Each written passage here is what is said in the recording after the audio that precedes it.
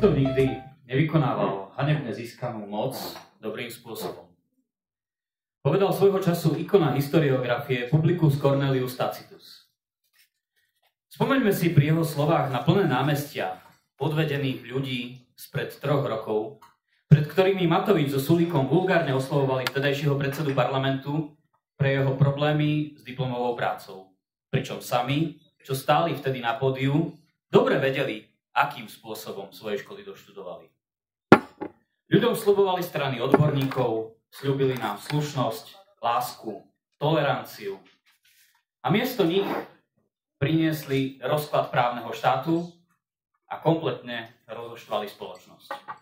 Zviezli sa na hygienizovaní na smrti dvoch mladých ľudí, zatiaľ čo sami svojou vládou spôsobili smrť 20 tisícov Slovákov, z ktorých väčšine sa dalo predísť nebyť riadenia štátu amatérmi, kresťanskými fundamentalistami a bipolárnym hysterikom Igorom M.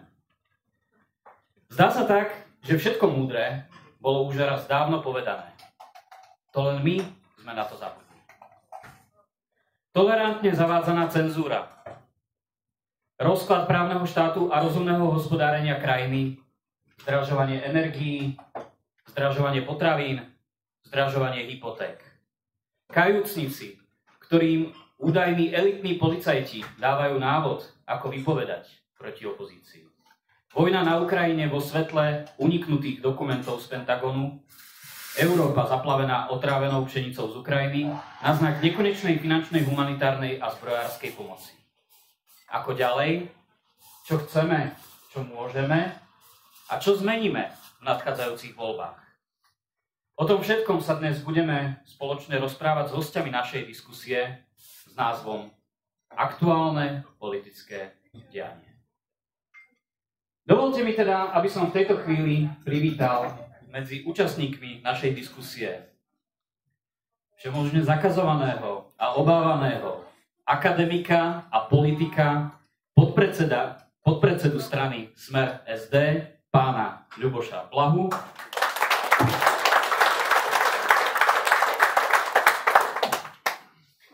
Ďalej, experta strany Smer SD pre oblasť polnohospodárstva a podpredsedu strany pána Richarda Takáča.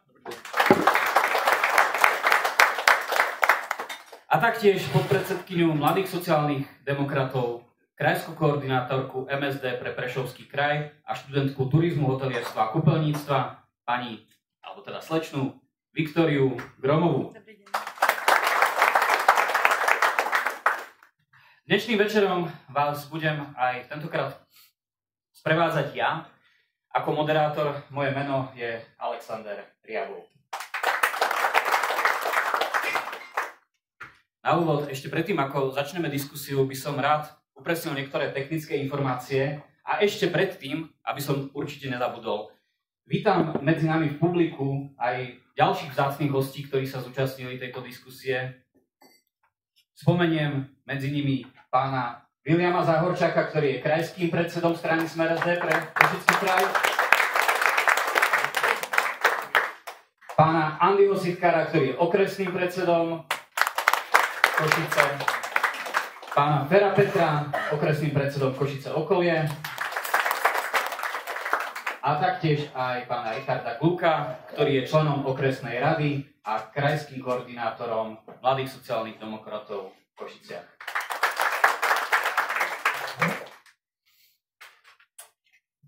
Teraz krátko k technickým informáciám. Očakávaná dĺžka tejto diskusie je niekde v rozsahu 1,5 až 2 hodín, pričom by sme teda radi ju nejak na poli rozdelili aj na otázky z publika, ku ktorým sa dostaneme po skončení diskusie. Ďalej by som rád e, uviedol, e, že e, partnermi tohto podujatia je samozrejme táto kaviareň, ktorá nás už niekoľkýkrát hostí a ja by som to nazval tak, že ako má Bratislava svoju kaviareň, tak aj tu v Košiciach sme si už postupne vybudovali našu vlastnú košickú kaviareň. Takže nachádzame sa v priestoroch kaviarne Chili Cafe.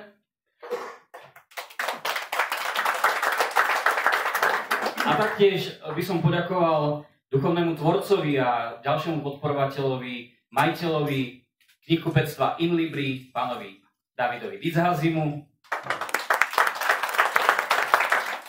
No a budeme radi, ak sa vám toto podujatie bude páčiť a budete sa chcieť zapojiť aj do nejakých našich ďalších aktivít, ktoré organizujeme. Robili sme už niekoľko diskusí a niekoľko ďalších plánujeme. Takže kto má záujem pridať sa medzi malých sociálnych demokratov v Košiciach, ktorých e, počty sa každým podujatím zväčšujú a zväčšujú, nech sa páči, tu na stole vedľa Davida pri kamerách máme hárok, môžete doplniť svoje informácie a zapojiť sa do našich ďalších aktivít. Nerobíme len tieto aktivity, stretávame sa aktívne, diskutujeme, komunikujeme a spoločne teda rozmýšľame, ako, ako napredovať v našich aktivitách. Takže nech sa páči, môžete sa zapísať e, na tomto hárku a ešte jedno dôležité upozornenie, ako náhle skončí diskusia, môžete ešte ostať samozrejme s nami. Máme pre vás pripravený bezplatný prípitok, ktorý je tu na bare. Ten je teda na náš účet. Všetko ostatné už potom si hradíte sami pri bare. Dobre, takže toľko sme povedali takým tým dôležitým úvodným informáciám.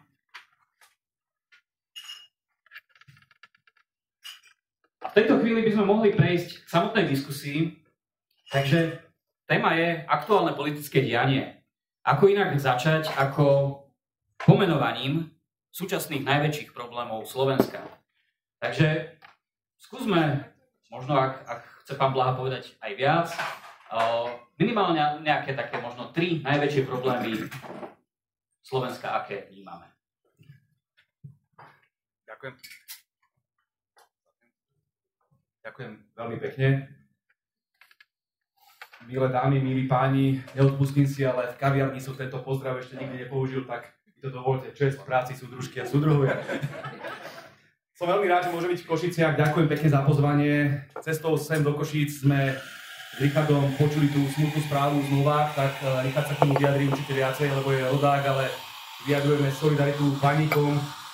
Sú to pracujúci ľudia, ktorí naozaj na Slovensku žijú veľmi ťažko a 1. maja si aj pripomenieme Sviatok práce a verím tomu, že sa stretneme v Poprade a že spoločne vyjadríme vďaku všetkým robotníkom, všetkým pracujúcim ľuďom, ktorí za posledné tri roky, podobne ako väčšina populácie Slovenska, naozaj padali na ústa. A tá hlavná katastrofa, o ktorej sa bavíme, keď eh, si položil otázku, že čo je to najhoršie, čo nás stretlo počas vlády Igora Matoviča, eh, Eduarda Hegera, ale povedzme to na rovinu aj Zuzany Čaputovej, tak to je v prvom rade sociálna katastrofa. Kde nechali ale absolútne zničiť seniorov. Nechali zničiť ľudí, ktorí sú živnostníci, malí živnostníci. Nechali zničiť ľudí, uh, farmárov, o tom bude hovoriť Richard. A už som spomínal robotníkov, ktorým zničili alebo znížili minimálnu mzdu. Absolútne nechali na pospas ľudí. Počas uh, covidu ich tu terorizovali očkovaním, spomíme si na to.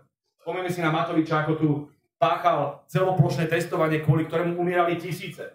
Saša hovoril o 20 tisícov, ktoré idú návrhu Igora Matoviča a tejto neschopnej vlády. Čiže na to nesmieme nikdy zabudnúť, čo tu napáchali na slovenskom národe a Robert Fico, ktorý vás srdečne pozdravuje, má úplnú pravdu. Keď hovorí, že je neuveriteľné, že oni tu 3 roky páchajú de facto zločiny proti ľudskosti a teraz zrazu nie je nikoho, kto by prevzal zodpovednosť. Eduard Heger sa tvári, že má novú stranu, demokrati, a že on vlastne ani nevládne. Za to všetko môže zlé Matovič a Sulík. Matovič sa tvári, že on tu nikdy nebol. On teraz prichádza po troch rokoch s nápadmi, ako má dať 500 eur, 1000 eur, odpustiť dane, všetko možné modré z neba, tak prečo to nerobil tie 3 roky, čo vládol? Veď to je neuveriteľné. Sulík to isté. Vyzuje si topánky, vyzuje si ponožky a myslí si, že je úplne nová strana a že teraz bude rozdávať rozumy. Áno, počuli, že pani Cigánikovú ktorá sa preslavila za tie 3 roky, hľadám len tým, že sa pobila s pani Tabak, ide teraz postaviť na čelo záchranného týmu pre zdravotníctvo, ako by oni 3 roky nedevastovali Slovensko. Nie nikoho, kto by sa de facto priznal tej zodpovednosti za to, čo tu napáchali. Musíme veľmi jasne hovoriť, že Slovensko potrebuje zmenu. A že my, strana Smer, Slovenská sociálna demokracia, sme jediní, ktorí zmenu môže priniesť.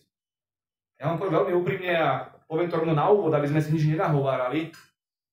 Dobre poznáte náš názor na našu sociálno-demokratickú bratskú stranu hlas sociálnej demokracie. Na jednej strane samozrejme tvrdíme, že jediná alternatíva je, keď si to matematicky zrátate, že musíme vytvoriť nejakú vládu spolu. No ale počúvame aj od našich drahých súdruhov z hlasu, čo chcú oni. No chcú predovšetkým koalíciu s pravicou, zo SAS a z PS. Pokiaľ takéto niečo na Slovensku nastane, liberálna koalícia, tak to nebude žiadna zmena. To bude len to isté. Ďalej vyzbrojovanie Ukrajiny, ďalej podhadzovanie sa Bruselu a Washingtonu Ďalej devastácia Slovenska a do toho ešte ako bonus všetky tie dúhové témy počnú s homosexuálnymi manželstvami a končia s transexuálnymi záchodmi. Ale toto nie je tradičná lavica. Ja som lavičiar celý život a s tým si to, čo o lavici hovorili také osobnosti, ako bol Clementis, Novomesky, ale pokojne aj Husák a ďalší davisti. S tým si to, čo hovorili tie najväčšie ikony lavicového myslenia, ale Nikdy by mi nenapadlo, že v 21. storočí bude hlavnou témou bruselskej lavice transexuálny záchod. Tu kde sme? My musíme riešiť chlebové témy. Zdražovanie, sociálne istoty, robotníkov, sociálny štát, sociálnu rovnosť. To boli vždy témy lavice. My sme prirodzení kritici kapitalizmu, to znamená nerovnosti, voľného trhu a toho všetkého, čo prináša tento systém. Ale nemôžeme pre Boha redukovať lavicu na to, aby sme riešili kultúrne vojny.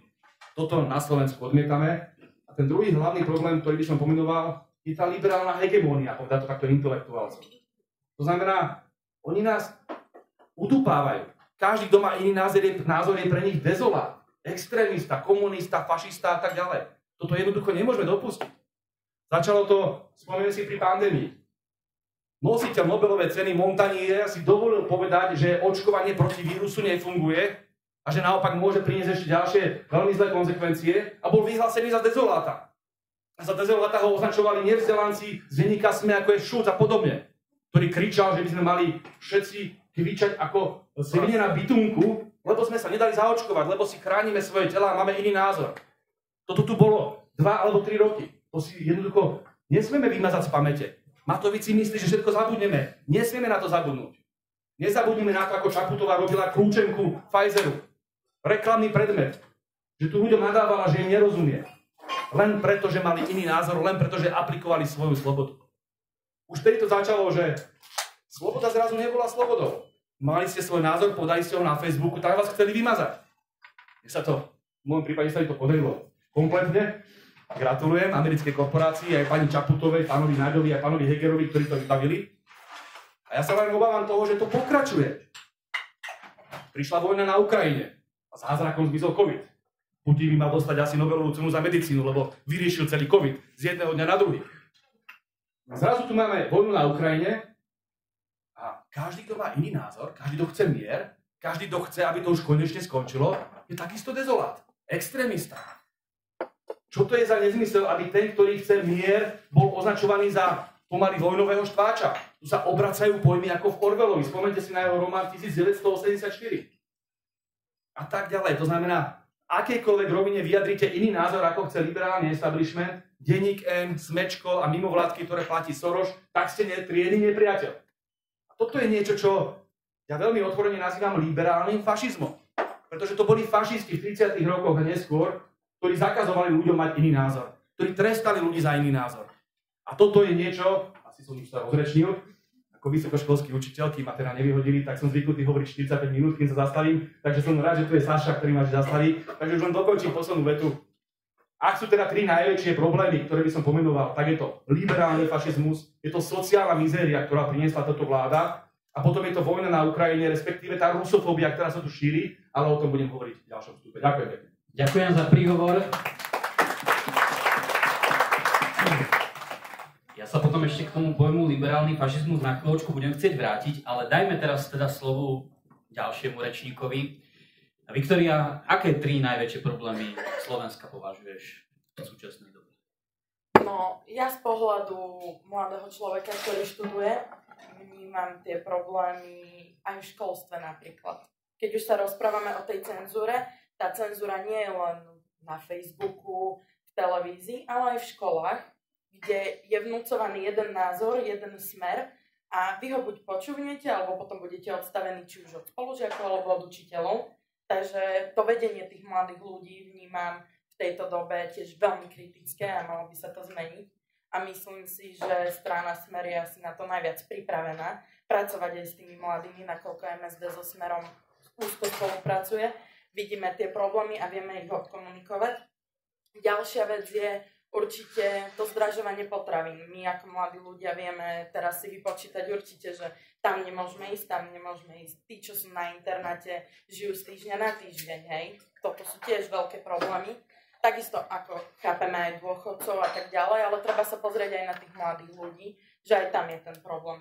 Najzaujímavejšie je, že spomedzi mladých ľudí každý nadáva, že ako sa zdražujú potraviny, ale nemajú problém ísť napríklad do takého amerického McDonaldu, zaplatiť 10 eur za nejaký hamburger a kolu a sú spokojní, hej. V Amerike to je junk food napríklad, akože úplne jedlo, ktoré tam ako sa neuznáva, čo sa týka z oblasti kvality. Ale oni vysmiatí, idú s tým McDonaldom, hej, a o 3 dní nemajú čo jesť. Prečo napríklad toto tu stále funguje, keď normálny dôchodca si nevie kúpiť základné potraviny, hej? Takže určite aj tento problém je. A takisto najväčší problém vnímam ako tretí, mm, boj na Ukrajine.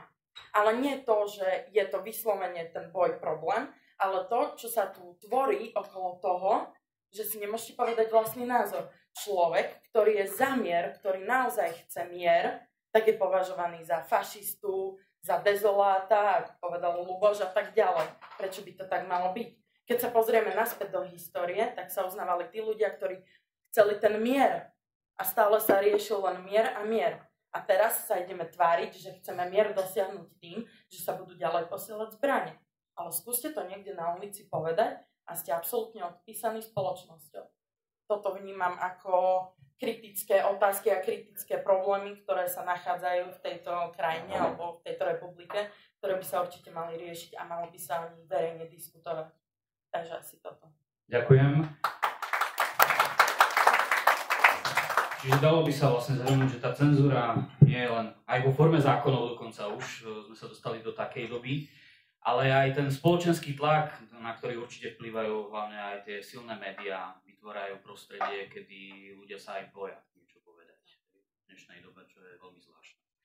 Takže ďakujem za príhovor a poprosil by som o úvodné slovo od pána Takáča.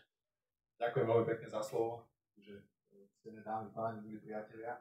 Ďakujeme, eh, že sme mohli prijať vaše pozvanie sem na túto, myslím si, že super diskusiu do Košic pán moderátor, keď na začiatku začal vymenovať, e, ako to všetko funguje na Slovensku, tak práve, že ja som si skôr spomenul, keď e, veľakrát počujem a vypočujem si tlačovú konferenciu už teraz tzv. tých demokratov a Hegera, tak mám pocit veľakrát, ako keby som sa prebudil z amnézie a práve, že mám pocit, že všetko funguje fantasticky na tom Slovensku, že všetci občania sú spokojní, ceny nám tu nerastú, potravín, e, energie sú najlacnejšie, ľudia za nič nedoplácajú, proste úžasná krajina. Ale realita je úplne iná. Samozrejme začalo to v roku 2020, keď e, v zásade Matovič e, na základe nejakých pár tlačových konferencií a nejakých e, aktivít v zásade oklamal spolu s ďalšími koaličnými, vtedajšími, terajšími koaličnými predstaviteľmi občanov na Slovensku a celé Slovensko tým, že v zásade totálne zneužívali a zneužili vraždu z roku 2018 a v zásade ju stále aj zneužívajú na druhej strane, keď máme možnosť teraz vidieť tlačové konferencie eh, tých eh, terajších koaličných predstaviteľov Hegera, Nadia a ďalších všetkých, tak v zásade tá tlačová konferencia je len o Ficovi, o Smere a o, proste o nás a vôbec nie je o tom, ako chcú pomáhať občanom na Slovensku a čo všetko robili za 3 roky. Čiže pre mňa to vychádza zľava správa, keď sa na to pozerám spredu, zozadu, tak eh, ten najväčší problém je ten, že proste eh, v roku 2020 eh, táto banda oklamala celé Slovensko a teraz eh, vyše 3, roka, 3 roky tu, tu vládne nejakým spôsobom a v zásade za 3 roky preukázala v každej, by som povedal, v každej rovine, že nedokázala riadiť tento štát. Mohli by sme si každého z týchto politikov prechádzať a by sme zistili, že sú to plagiátori, ľudia, ktorí nemajú odborné vzvedanosti, nevedia riadiť túto krajinu ja to hovorím tak, že oklamali ľudí a v zásade zistili, že tú krajinu riadi nevedia. Musím tak možno seba kriticky povedať aj do vlastných radov, že samozrejme aj my v minulosti sme spravili nejaké chyby, ktoré, ktoré možno, že sme sa mohli vyvarovať a je to aj naša daň tým spôsobom, ako sme po tom roku 2020 aj z hľadiska toho výsledku dopadli, ale ja si myslím, že sme sa ako strana Smer Slovenská sociálna demokracia z toho veľmi dobre poučili a ja to tak poviem, že v tom roku 2020 sme sa tak aj očistili ako strana od určitých ľudí. Ja toto berem veľmi pozitívne. Pamätám si, ako v roku 2020 po rozdelení, keď odišiel eh, Peter Pellegrini, tak nám niektoré agentúry merali 6% v prieskumoch a myslím si, že tá realita teraz eh, je úplne iná a každý to vníma. Čiže vnímam, eh, vnímam to, že na Slovensku vyše 3 roky riadia túto krajinu ľudia, ktorí ju riadiť nevedia. Nemáme politikov na, na Slovensku, ktorí by mali vo vládnej koalícii, ktorí by mali nejaký suverénny postoj aj v zahraničnej politike a v prvom rade by mali na prvom mieste svojich občanov, občanov Slovenskej republiky. A to preukazujú e, na viacerých, by som povedal, viacerých e, veciach. Jednak už spomínané, čo teda asi najviac e, Slovákov trápi, lebo sme najhoršie na tom v rámci Európskej únie, je rapidné zvyšovanie cien potravín, kde sme v zásade druhá krajina v rámci eurozóny najhoršie na tom. Každý z nás to dennodenne pociťuje v potravinách, kde sme v potravinách skoro 30% navýšenie a bohužiaľ realita je taká, že táto vláda v tejto veci o otázke nespravila vôbec nič. Druhá vec je tá, že čo sa týka cien elektrickej energie, môže rozprávať Hirman minister hospodárstva, čo chce, ale realita je taká, že tí ľudia a hlavne tie spoločnosti, tí podnikatelia platia o mnoho viacej za, tú, za tie energie, ako platili v minulosti. A potom si, potom si pozriem e, čísla pozriem si to, že napríklad reálne sa nachádzame, že vo výrobe elektrickej energie sme už sebestační, do konca mája bude tretí blok v Mochovciach fungovať na 100% a v zásade budeme mať ako Slovensko prebytok elektrickej energie. Elektrickú energiu na Slovensku vyrobíme za 40 eur a my ju nakupujeme za 180, za 200, za 250, za 300 a veľa fabrík a veľa podnikateľov muselo pozatvárať, lebo nedokázalo takéto vysoké ceny platiť. Čiže tuto je totálne zlyhanie našich predstaviteľov ale určitá kritika samozrejme aj do radov predstaviteľov, ktorí riadia Európsku úniu, kde e, títo predstavitelia zlyhali, lebo Európska únia totálne zlyhala, bo e, čo sa týka energetiky, my sme si sami sebe spôsobili sami problémy tým, že sme nedokázali e, zastaviť obchodovanie cez burzu a zlikvidovali sme sami seba zvýšenými cenami elektrickej energie a ja to poviem tak sedliackým rozumom, keď vyrobím na Slovensku dostatočne množstvo elektrické energie za 40 eur, nemôžem dopustiť, aby naši podnikatelia a naši ľudia to nakupovali za drahšie, ako je 60-70 eur. Na druhej strane teraz aktuálne všetci vnímate aj situáciu s dovozom napríklad uh, ukrajinského obilia alebo ďalších potravín uh, jednak do celej Európskej únie, kde opätovne musíme povedať, že zlyhala, zlyhali predstavitelia Európskej únie, lebo v zásade si sami se, seba likvidujeme, likvidujeme našich potravinárov tým, že bez cla akýmkoľvek spôsobom proste sme dovolili dovoz Ukrajiny také, takéhoto obilia, ktoré je úplne iné ako to naše vypestované v Európskej únii. Čiže tuto možno, že prvom rade tí naši predstavitelia, ktorí nám vládli a ktorí nám ešte vládnu, totálne zlyhali, lebo keď sa jednalo o sankcie voči Ruskej federácii, tak Eger bol prvý, ešte len letel do Bruselu a už zdvíhal lietadle si nacvičoval podľa mňa ako zdvíha ruku za to, že zahlasuje za tieto sankcie, lebo si treba uvedomiť, že tieto sankcie nie, nie sú voči Ruskej federácii, ale sú v prvom rade voči občanom Európskej únie a hlavne voči východným krajinám Európskej únie, ktoré to najviac pociťujú ako my Slovensko. A samozrejme s tým e, súvisiace všetky veci, čiže myslím si, že v prvom rade, či to zľava, správa, spredu, zozadu, budeme sa na to pozerať je to tá banda, ktorá nám tu vládne a od sa odvíja úplne všetko a tam e, potom určite taká primeraná kritika voči predstaviteľom Európskej únie, lebo uh, to je aj taká otázka politicky, ktorá nás e, teraz, dá sa povedať, tak aj mári ako strane, kde toto riešime a snažíme sa vysvetľovať ten náš postoj voči napríklad aj tej Európskej únie. Ďakujem. Uh, chcel by som sa k tomu spýtať ešte, čo bolo spomenuté, dve dôležité témy sú tam. Uh, jedna je otázka teda toho zdražovania potravín, teda vás ako experta strany. Uh, aké, aké sú možnosti? Hovorili ste teda, že takmer nič nebolo uskutočnené. Teda povedať, že čo bolo a ak vôbec. A aké sú možno riešenia, ako bojovať so zdražovaním potravín, to je jedna moja otázka. A druhá, vytvára sa tu dosť chaos okolo toho obilia tej pšenice z Ukrajiny. Keby ste nám to vysvetlili, ako to teda je, pretože na jednej strane nám hovoria, že aj Poliaci zakázali dovoz, aj Maďari, potom vyjde správa v Markize, že obilie je v poriadku, potom von der Leyenová povie, že európske krajiny nemajú právo zakázať individuálne dovoz. Ako to s tou pšenicou vlastne je? Je teda otrávená, jedovatá, prekračuje limity, alebo je v poriadku? Dobre, čiže čo sa týka uh, potravinám, čo som povedal, že je to téma, ktorá trápi každého z nás, lebo každý z nás nakupuje tie ceny potravín, tak uh, na začiatok treba povedať, že vláda nespravila nič, respektíve spravila dva kroky. Ten jeden krok bol asi pred vyše rokom, keď uh, zastropovali obchodnú prírážku pri 13 nejakých základných potravinách, obchodné reťazce na základe dohody s ministerstvom pôdohospodárstva tu si treba uvedomiť, že zastropovali obchodnú príražku, napríklad poviem, ja neviem, rožok, biely, keď e, predával obchodný reťazec s 80% obchodnou príražkou, tak zastropovali túto obchodnú príražku, ale to neznamenalo, že tá cena sa nebude zvyšovať, lebo vstupy pri výrobe toho rožka sa zvyšovali, čiže reťazec len povedal, že bude mať 80% na tých 13, na, napríklad na tom rožku, to znamená, že to neznamenalo nejaké zastabilizovanie cien, ale tie ceny sa zvyšovali. To bol marketingový ťah. Jednoducho zisk si nechali tie predajcovia rovnaký a ceny ceny stúpajú To je pravda, tí predajcovia mali ešte väčšie zisky, lebo keď nakúpil roštek za minulosti za 5 centov a mal na ňom 80 tak mal na tom nejakú, nejakú finančnej, ale keď ten rožok nakupuje za 10 centov a má na ňom 80 tak zarobí viacej.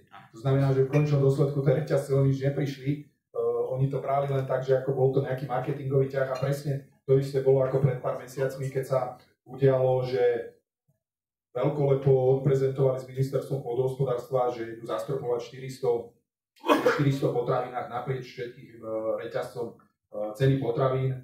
Pritom sme všetci zistili, že hneď na druhý deň si kúpite buď z inej značky v tom istom reťazci alebo vo vedľajšom obchode napríklad to maslo nie za 3,29 ako zastropovali, ale za euro 69. Čiže tiež to bol blúd a marketingový ťah. Toto boli jediné dva kroky, ktoré ministerstvo pôdohospodárstva alebo vláda ako taká spravila pri, uh, pri tých cenách. Ja vám poviem teraz, že čo by sa malo spraviť. aké sú riešenia toho? Riešenia sú také, že my sme, uh, musím povedať, že my v Smere sme už v roku 2021 v septembri zvolali prvú mimoriadnú schôdzu, kde sme prvýkrát chceli hovoriť o týchto zvýšených cenách potravín a ponúkali sme aj riešenia. Tých schôdzi bolo asi 8 alebo 9. Všetky schôdze nám v parlamente zarezali tak e, my sme prišli už potom s tým, že sme ponúkali samotné riešenia. Že najprv sme chceli počuť od vlády, potom sme sa dozvedeli, že vláda nám nič nevie povedať, tak sme prišli s nejakými riešeniami a samozrejme, že nám zarezali všetko vo vláde, oni nevedeli prísť s ničím, ale teraz sme dostali sa do štádia, že my ako strana Smer e, sme zvolali dvakrát e, taký okrúhly odborný stôl, rokovací stôl, kde sme zavolali všetkých dotknutých, čo sa týka prvovýrobcov, potravinárov, zástupcov slovenských a zahraničných reťazcov.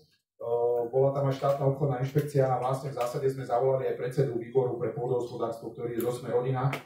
A hľadali sme riešenia. My sme tie riešenia aj našli a v zásade som rád, že ten výstup z tých dvoch okrúhlych stolov bol presne o tom, že bolo, výsledkom boli tie návrhy, ktoré sme my už od toho septembra 2021 hovorili.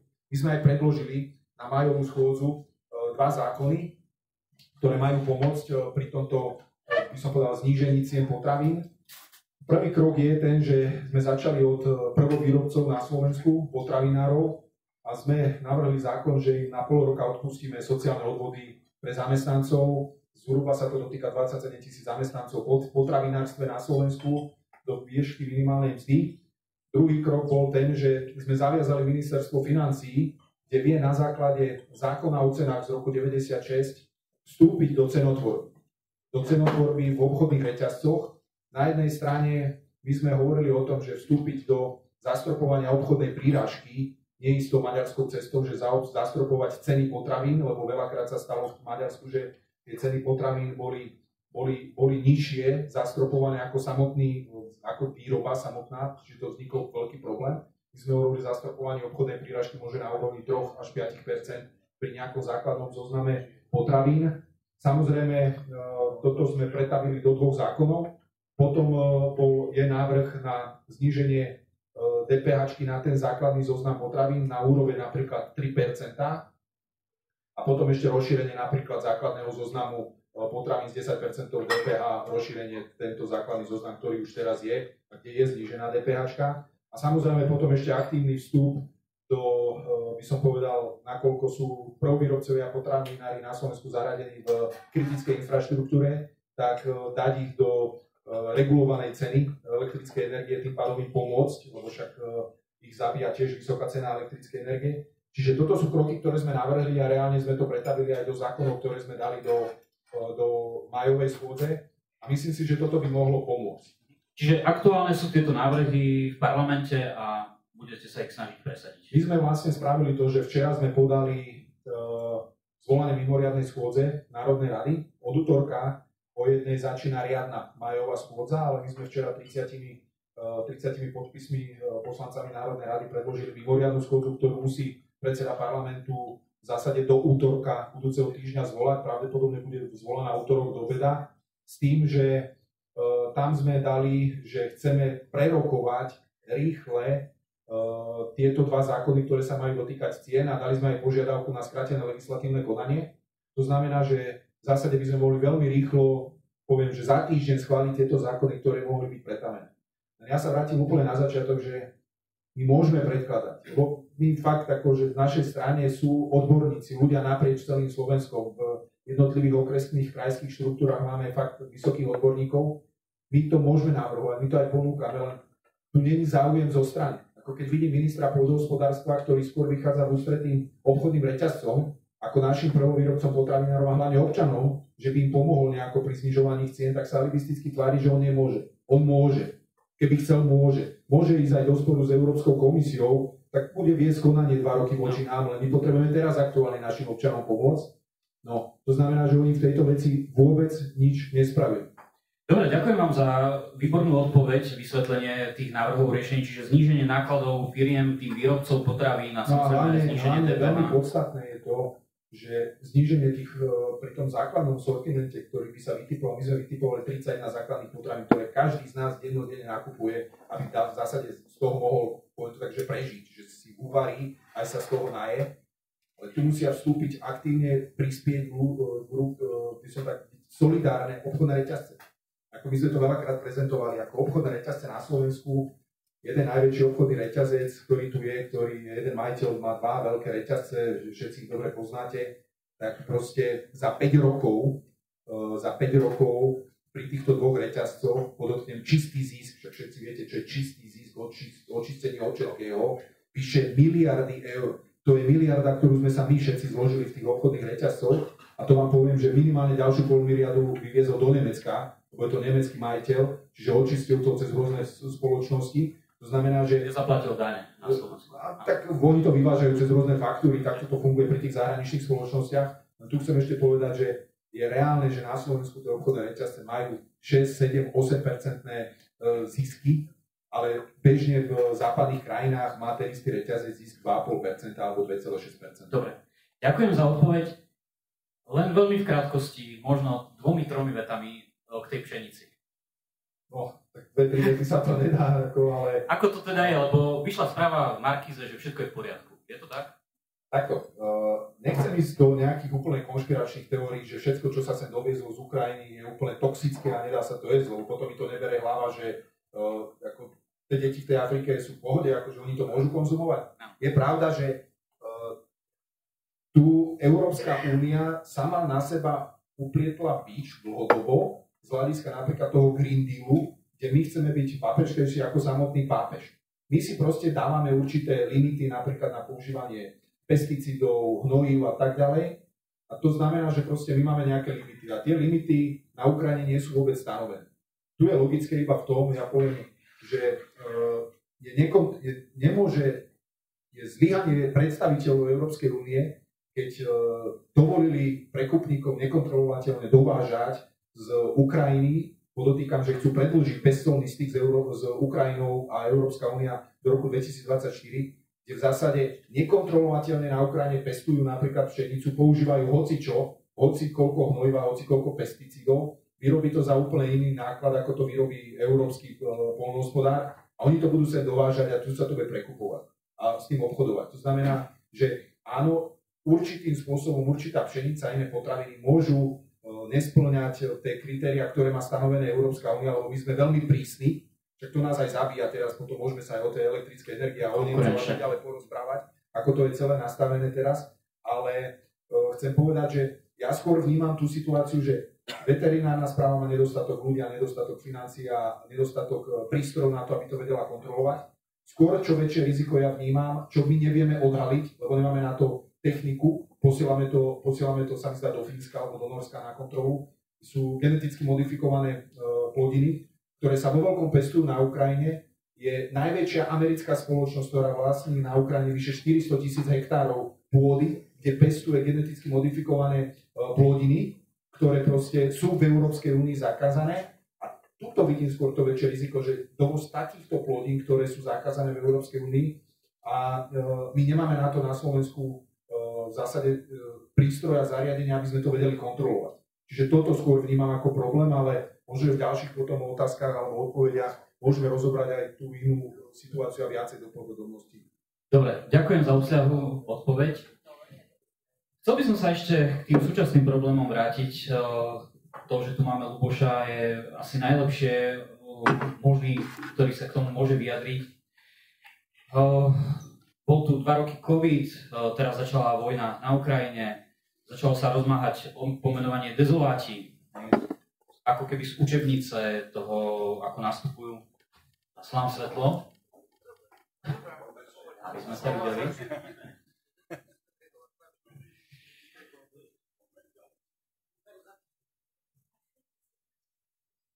Ja budem napriek tomu pokračovať.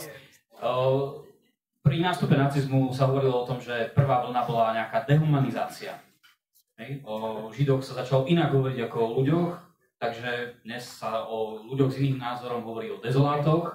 Začína sa mazať konta na Facebooku, začínajú sa mazať videá, hej, ak náhodou poviete niečo inak, ako by sa chcelo počuť.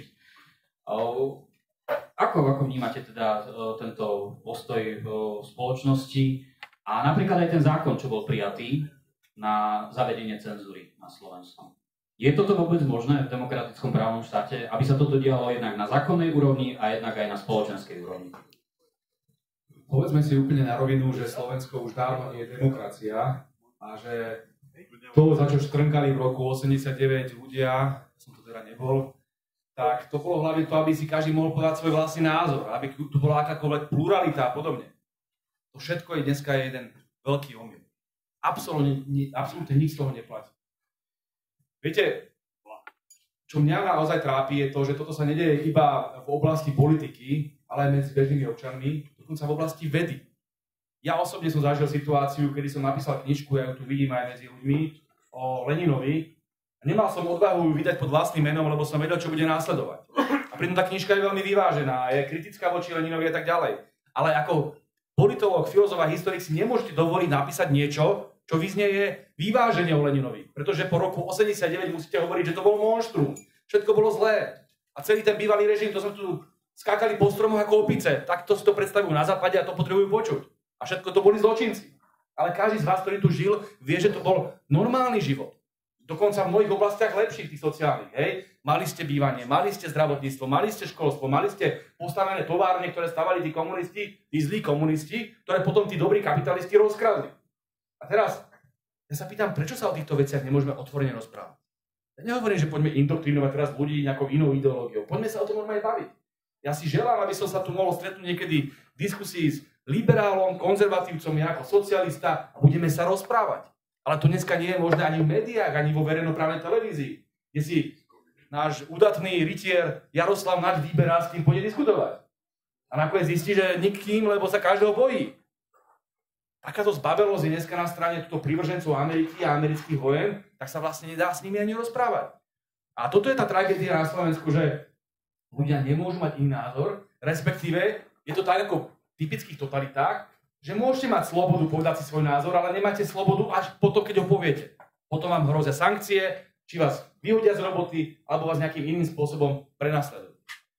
Ja som naozaj zhrozený z toho, kam až to dovádzajú. Na Slovensku máte niekoľko médií. všetci sú, všetky sú vlastnené mimoriadne bohatými ľuďmi. S výnimkou verejnoprávnej televízie, ktorú ovláda vláda. A teraz máte denník SME, ktorý vlastní fond Georgia Sorosa.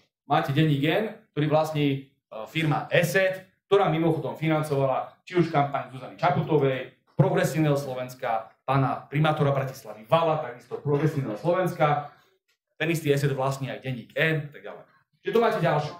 Takto by som mohol pokračovať, Jojku vlastní GNT a tak ďalej, hej. Aké názory, ja už dokončím vetu, aké názory očakávate z týchto médií, keď ich vlastnia títo ľudia? No budú to liberálne alebo neoliberálne názory? Budú to názory, ktoré budú propagovať vojnu na Ukrajine, aby mohli zarábať americké zbrojovky, a k tomu sa rád vyjadrím.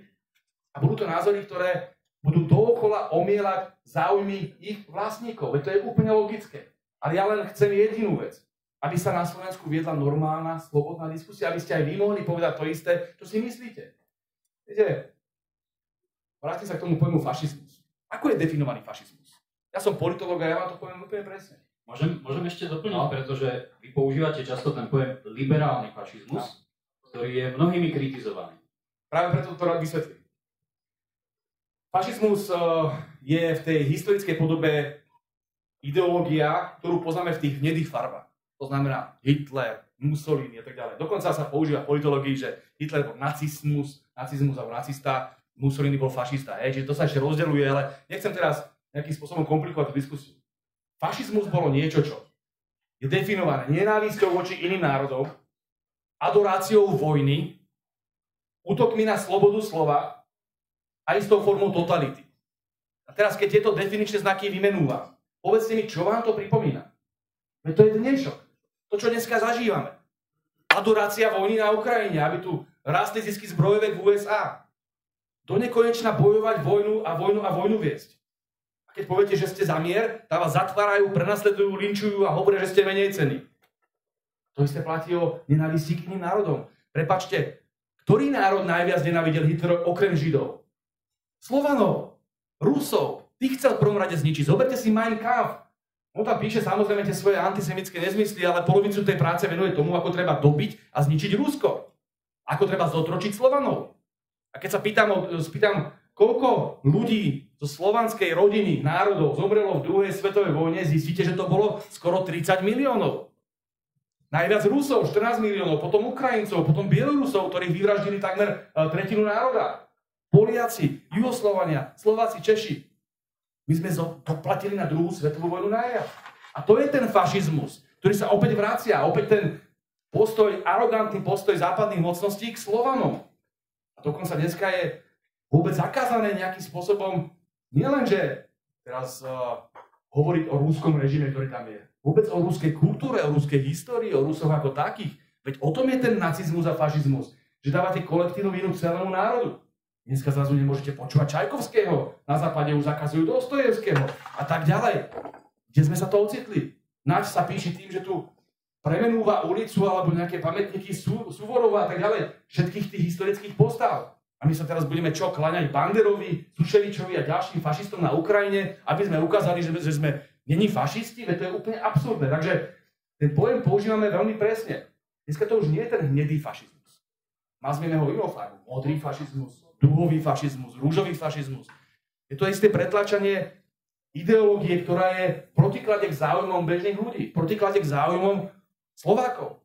A ja ten pojem liberálny fašizmus používam aj preto, lebo keď ste tolerantný, normálny človek, tak úplne bez problémov akceptujete, že ja mám nejaký názor, Ríšo má iný názor, vy máte iný názor a poďme sa o tom rozprávať. Ale toto bežný liberál, slnečka z Bratislavskej kaviarne nepochopí. Ako náhle máš iný názor, tak musíš byť nejakým spôsobom zničený. A toto je práve ten fašizmus. Toto chcel aj ten Hitler, že iný názor mať nemôžeš. Takže všetky tie prvky, ktoré splňal ten historický fašizmus, v inej podobe splňa aj ten moderný novodobý liberálny fašizmus. Takže tento pojem kľudne používajte, používa sa aj v mnohých politologických knihách, aj keď je to samozrejme v prenesenom zmysle. Nie je to ten druh fašizmu, že teraz ideme stavať koncentráky, aj keď nevylučujem, že aj to nás nakoniec čaká. Ja som, len by som krátko si za to zaglosoval, keď som bol v nejakých diskusiách, tak uh, tam aj inteligentní ľudia, ktorých teda som vždy celý život považoval za inteligentných, hovoria o tom, že my sme tolerantní. Sme tolerantní voči všetkému, len nie sme tolerantní voči netolerantným. A my samozrejme sme tí, ktorí stanovia, kto je netolerantný. Viete, spomíme si na bývalý režim. Mám taký historický príklad. Bývalý režim si zadefinoval v ústave, že je tu sloboda, je tu ľudová demokracia, pokiaľ budeš mať iný názor, ako máme predpísaný v ústave, tak si extrémista, teda to už hovorím pojmami dneška, a tým pádom budeš prenasledovaný. Čo boli tí dizidenti, hej? A povedzte mi, že to bolo teda strašne zlé, totalitné, autoritárske, alebo ako to hovoria tí naši liberálni kamaráti. No a v čom je to iné dneska? V ústave máte zadefinované, že musíte byť liberálny demokrat, alebo musíte byť nejakou formou prepojený na NATO, na Európsku úniu, na všetky tie západné ideológie. A ako sa vybočíte z tohto, tak ste okamžite práve ten extrémista. V čom je ten rozdiel? Tam naozaj žiaden rozdiel nevidím, na to je tá tragédia. Ja som dúfal, že keď teda ten nový režim po roku 89 odbúra všetky tie sociálne istoty, ktoré prinášal ten starý režim, že teda aspoň uchová tú, tú slobodu a demokraciu, ktorú sluboval. Ale toto všetko nám zobrali.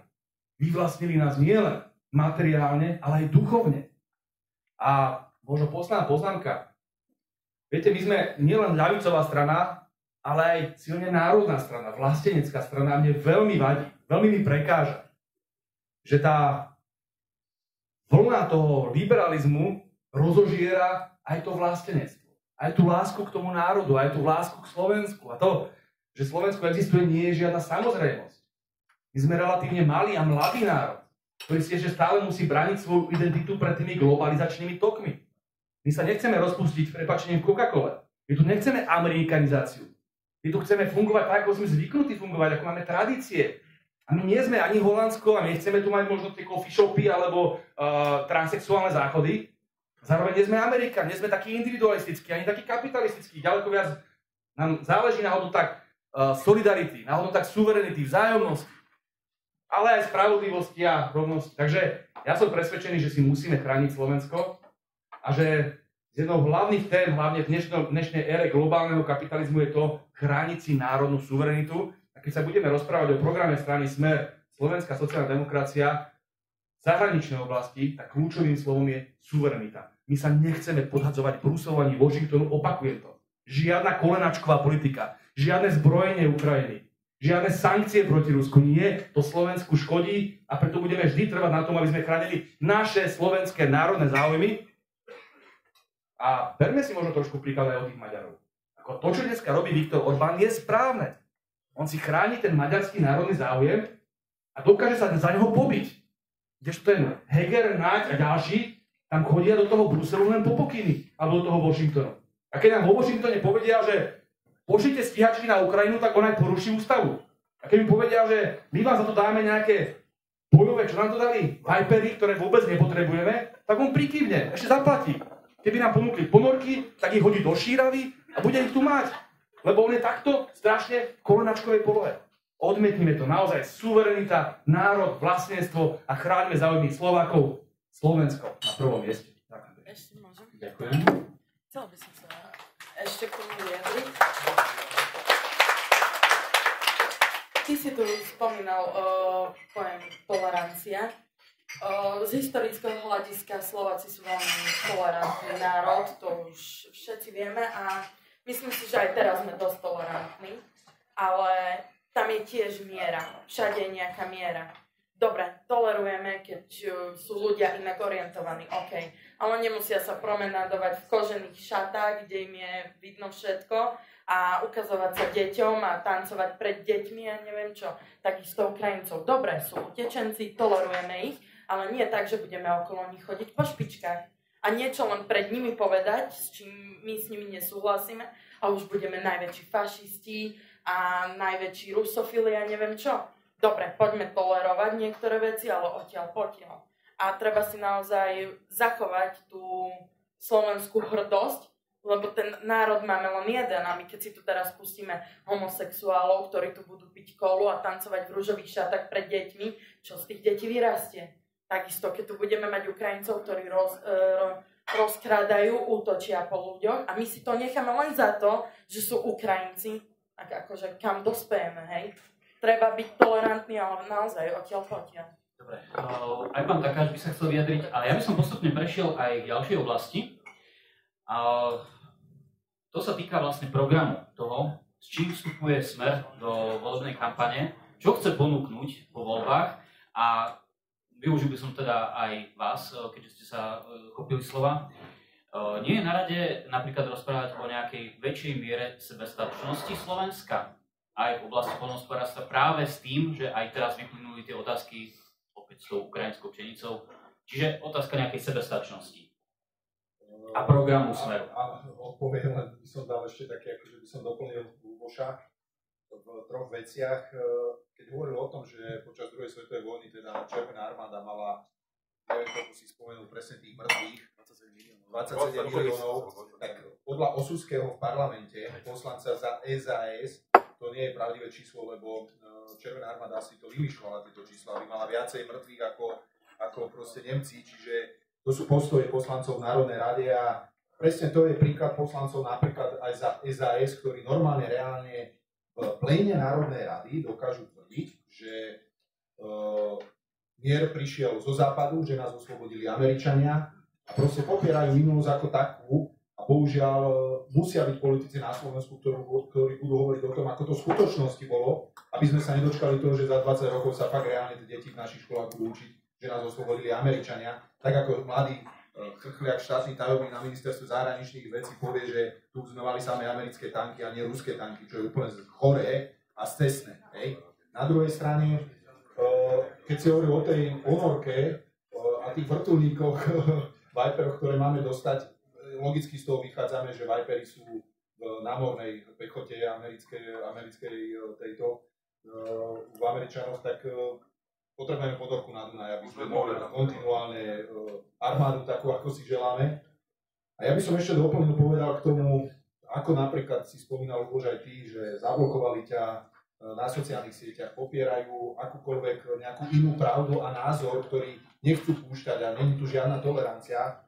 My sme, ja som dal spracovať uh, po tomto víkende po reláciách, kde Smer Slovenská sociálna demokracia zase nemala ani jedného zástupcu ani v jednej diskusii, Dali sme si tú námahu a spracovali sme kompletne všetkých, by som povedal, 5 eh, diskusí hlavných politických, ktoré idú v priebehu týždňa, štvrtok večer v televízii, sobotu, sobotné dialógy a samozrejme všetky tri televízie, ktoré idú v nedelu, čo všetci sledujete a vnímate tam politiku, tak eh, podľa výsledkov za od januára do tohto víkendu, tak eh, tie čísla boli pre mňa zaražajúce a až potom som pochopil, že akým spôsobom sme my aj brzdení a nepúšťaní do nielen verejnoprávnej televízie, čo teda podľa mňa verejnoprávna televízia by mala byť vyvážená, ale zistili sme, že nie je vôbec vyvážená, uh, ale samozrejme aj v tých súkromných televíziách, tak najviac sa zúčastnila strana hlas, kde ich bolo až 28 krát boli v diskusiách, potom pokračovala Saska s Olanou, ktorí boli 23 krát v diskusiách,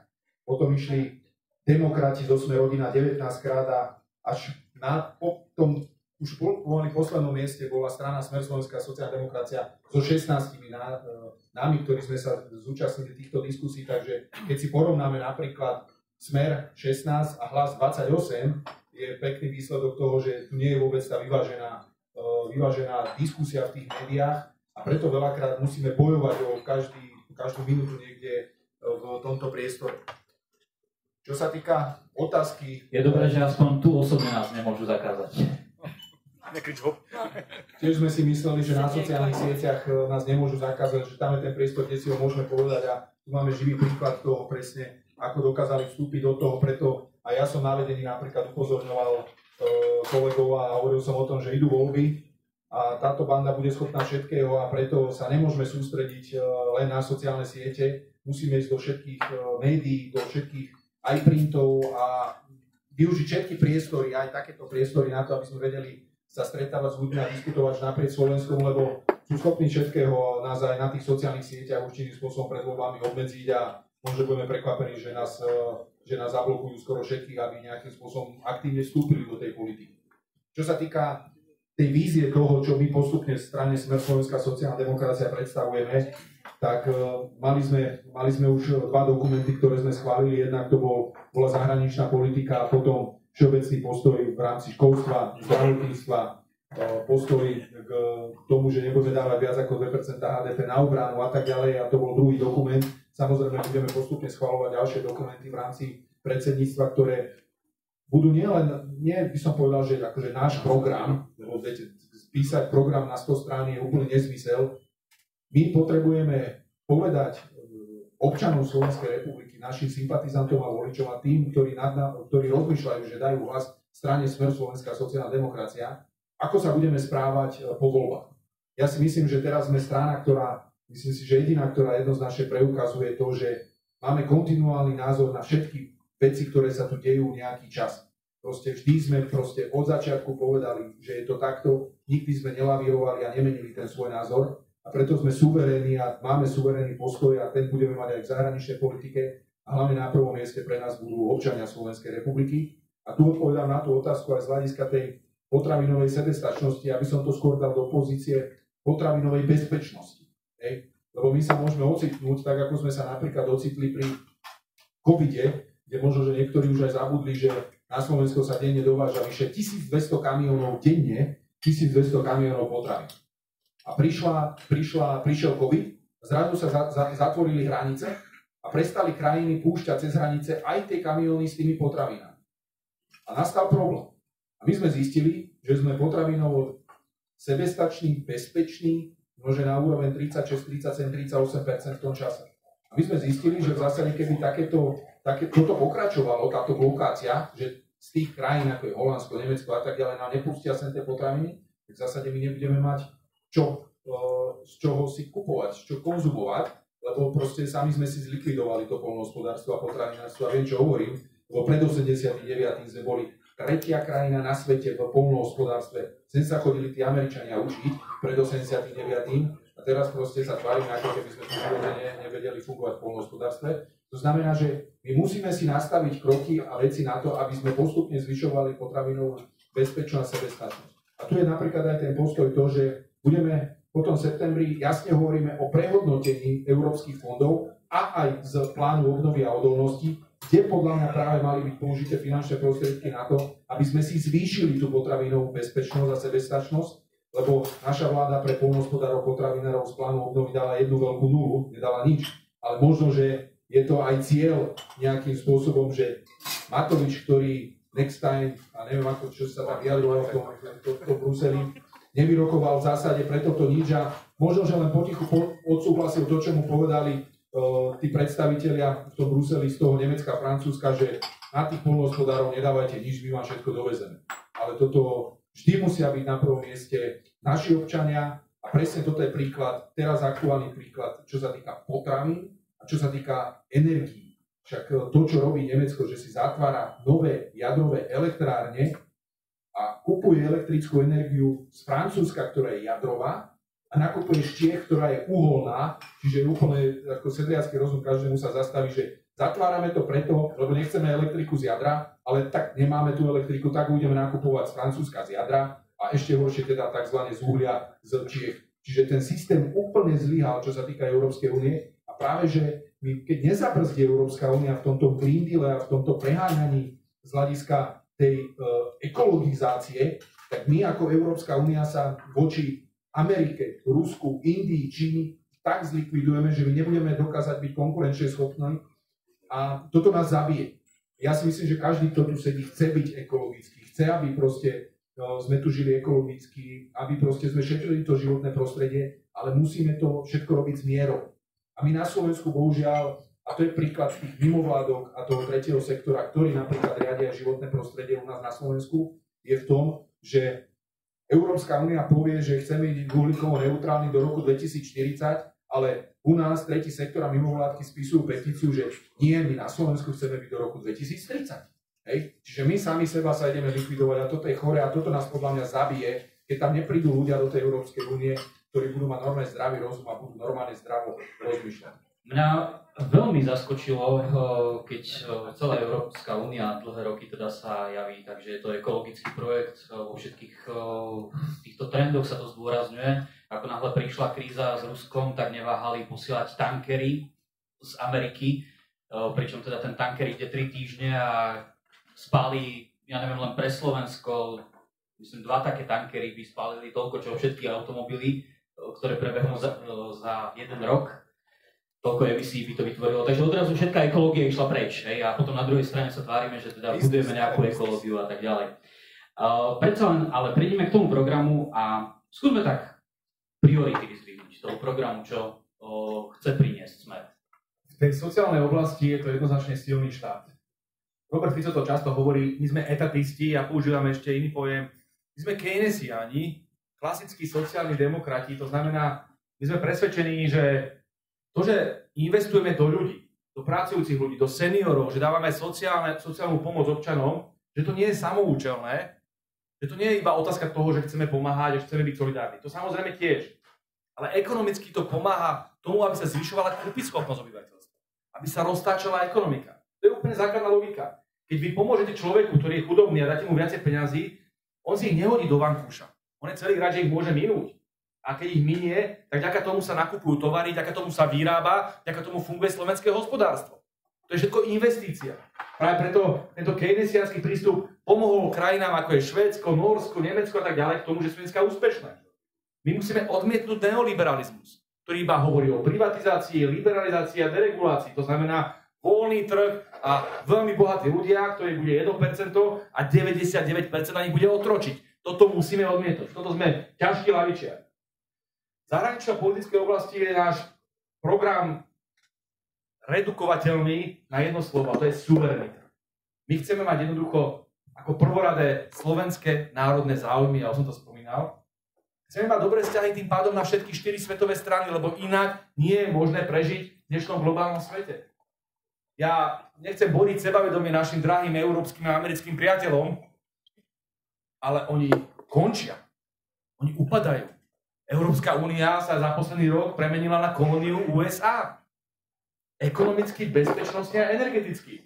Ešte pred rokom sme dovážali lacnú energiu z Ruska, celá Európa, alebo veľká časť, najmä Nemecko, ktoré je de facto pilierom európskej ekonomiky. A oni sa samo, sami odrezali od toho. Sami si takto strelili do hlavy. Teraz budú padať, logicky, lebo budú prinášať Ameriku cez práve tie tankery, ktoré budú znečisťovať životné prostredie. Pozdravujem pani Čaputovú, ktorá bola veľká zelená aktivistka. Zrazu jej to nevadí. A budú nás oslabovať aj tým, že tie ceny budú dramaticky drahšie. To bude oslabovať konkurencieschopnosť európskej ekonomiky. Bezpečnostne sme odozdali všetky zbranie zelenskému, banderovskému režimu a sme úplne plonkoví. Celá Európa. Takže logicky budeme závislí od Američanov. Energeticky, bezpečnostne a ešte aj ekonomicky. Pretože základom celého nemeckého ekonomického zázraku bolo odbytište v Číne. A my si najnovšie teraz robíme z Číny najväčšieho nepriateľa a budeme ich tam teraz šikanovať za nejaké ľudské práva, namiesto toho, aby sme si chránili naše vlastné ekonomické záujmy, ako to robí každá normálna krajina.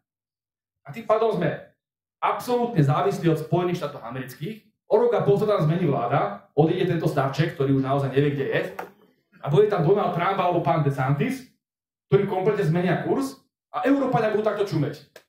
A budeme absolútne nahratí. To je tak niečo naozaj stupidné, čo dneska Európa robí, že nemám slov.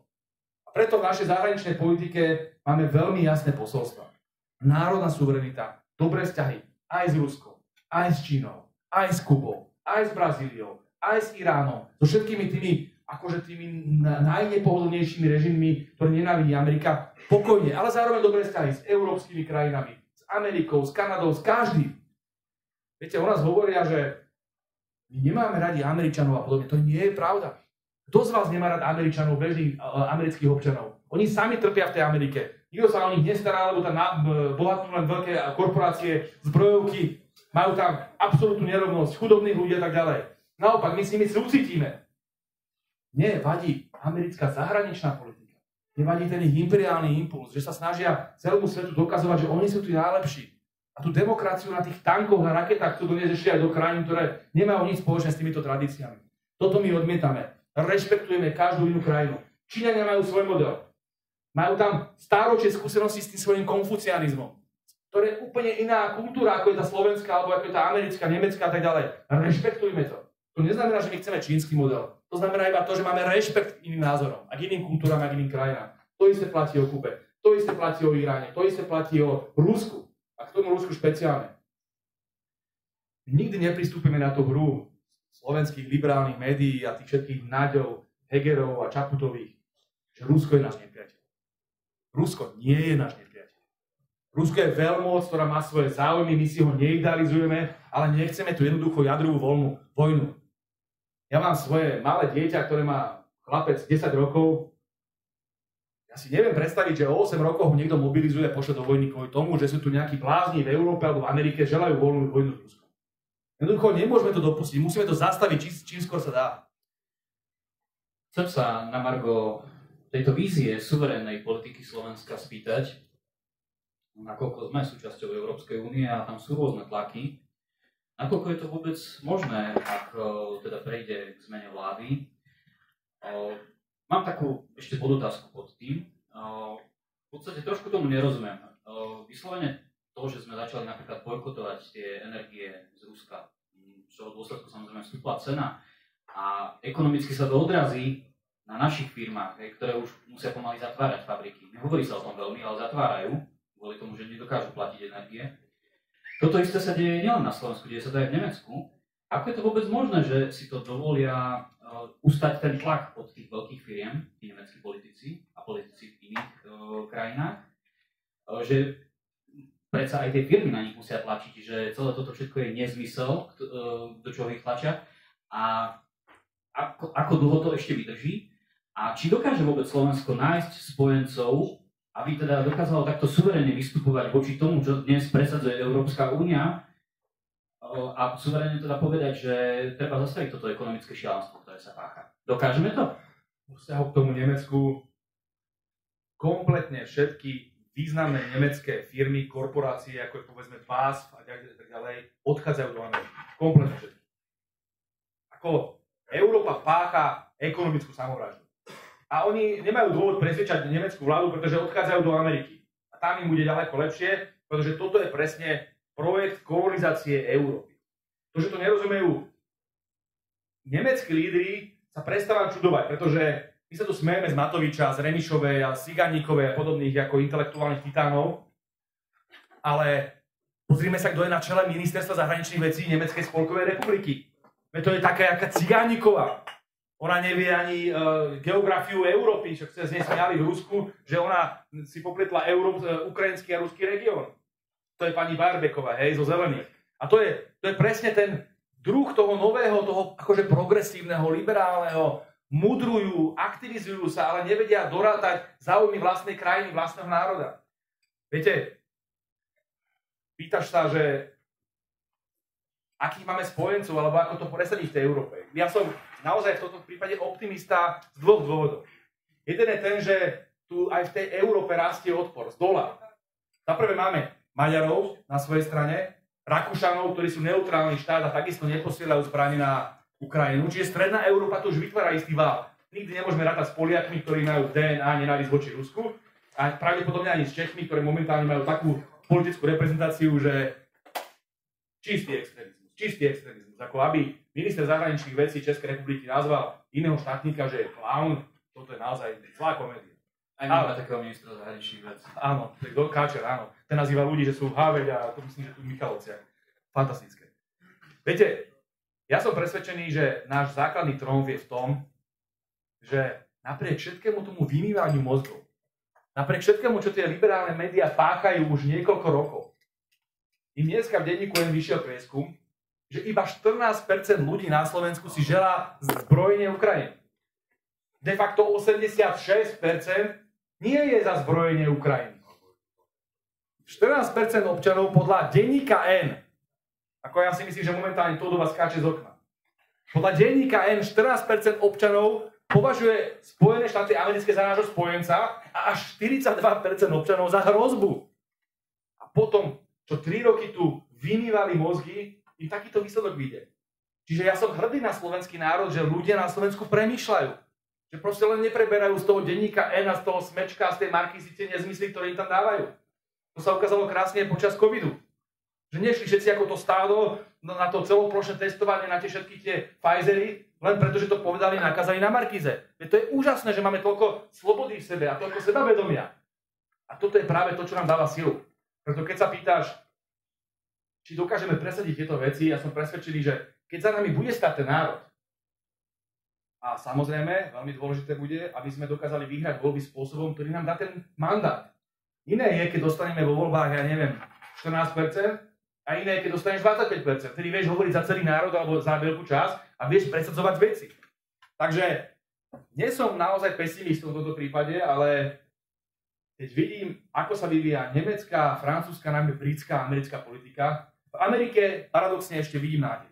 Pretože naozaj o rok a pol si myslím, že pána Bidena pri všetkej úcte zvolia akurát na oddelení paleontológie, ale uh, paliatívne starostlivosti, či ako sa to hovorí, ale myslím si, že uh, bude do budúcnosti prezidentom Spojených štátov opäť Donald Trump. A ja mu verím, že pokiaľ som sledoval jeho výrok, za prvé zastaví vojnu na Ukrajine, respektíve tú vojnu, ktorú rozputali Američania v roku 2014 a povedzme si na rovinu, to je vojna, ktorá začala v roku 2014, nie v roku 2022, vraždením ľudí na Bombase zo strany ukrajinských fašistov. Som presvedčený, že zastaví aj to, čo pomenoval veľmi presne. Tu sa dejú vojny vo svete len kvôli tomu, aby rástli zisky amerických zbrojovej a amerického vojenského priemyslu. A ako lavičiari musíme kričať nie. Ako lavičiari musíme kričať, že chceme mier. A toto je niečo, čo Slovákov spája. 86% ešte raz. Slovákov nechce zbrojiť Ukrajinu. To je asi najkrajšia správa, ktorú som počul za posledný rok. Ďakujem. Ďakujem. Zareagovať e, na Luboša. Je paradoxné, keď rozprával teraz o Donaldovi Trumpovi, ako sa vynárajú rôzne vyfabulované obvinenia, že neviem koho znásilnil, v kabinke a tak ďalej, pričom to isté sa deje na Slovensku so Smerom. Takže je to až smiešné, ako sa takto snažia zdiskreditovať rôznych politikov, ktorí naozaj sa snažia pre ten národ niečo spraviť. A takisto e, ešte k tej Číne sa chcem vyjadriť. Tam majú perfektne zaobstarané hospodárstvo, čo sa týka potravín. Tam ľudia, ich základná potravina je rýža. Sú závislí od vody. Tam, keď je sucho, ľudia umierajú, nemajú čo jesť. Tam, keď je veľmi vlhko, ľudia umierajú, nemajú čo jesť. Ten vodosystém tam je perfektne nadstavený a namiesto toho, aby sme my na nich útočili, by sme si určite mali brať od nich príklad. Aj toto to je u nás, keď chceme chrániť našu vodu, musíme chrániť naše lesy. Pretože ten celý koreňový systém tých lesov zadržiava tú vodu a chráni ju. Teraz neviem, kde idú vystavať nejaký hotel a cesta k tomu hotelu bude viesť cez 5. stupeň ochrany. Akože to kde sme, hej?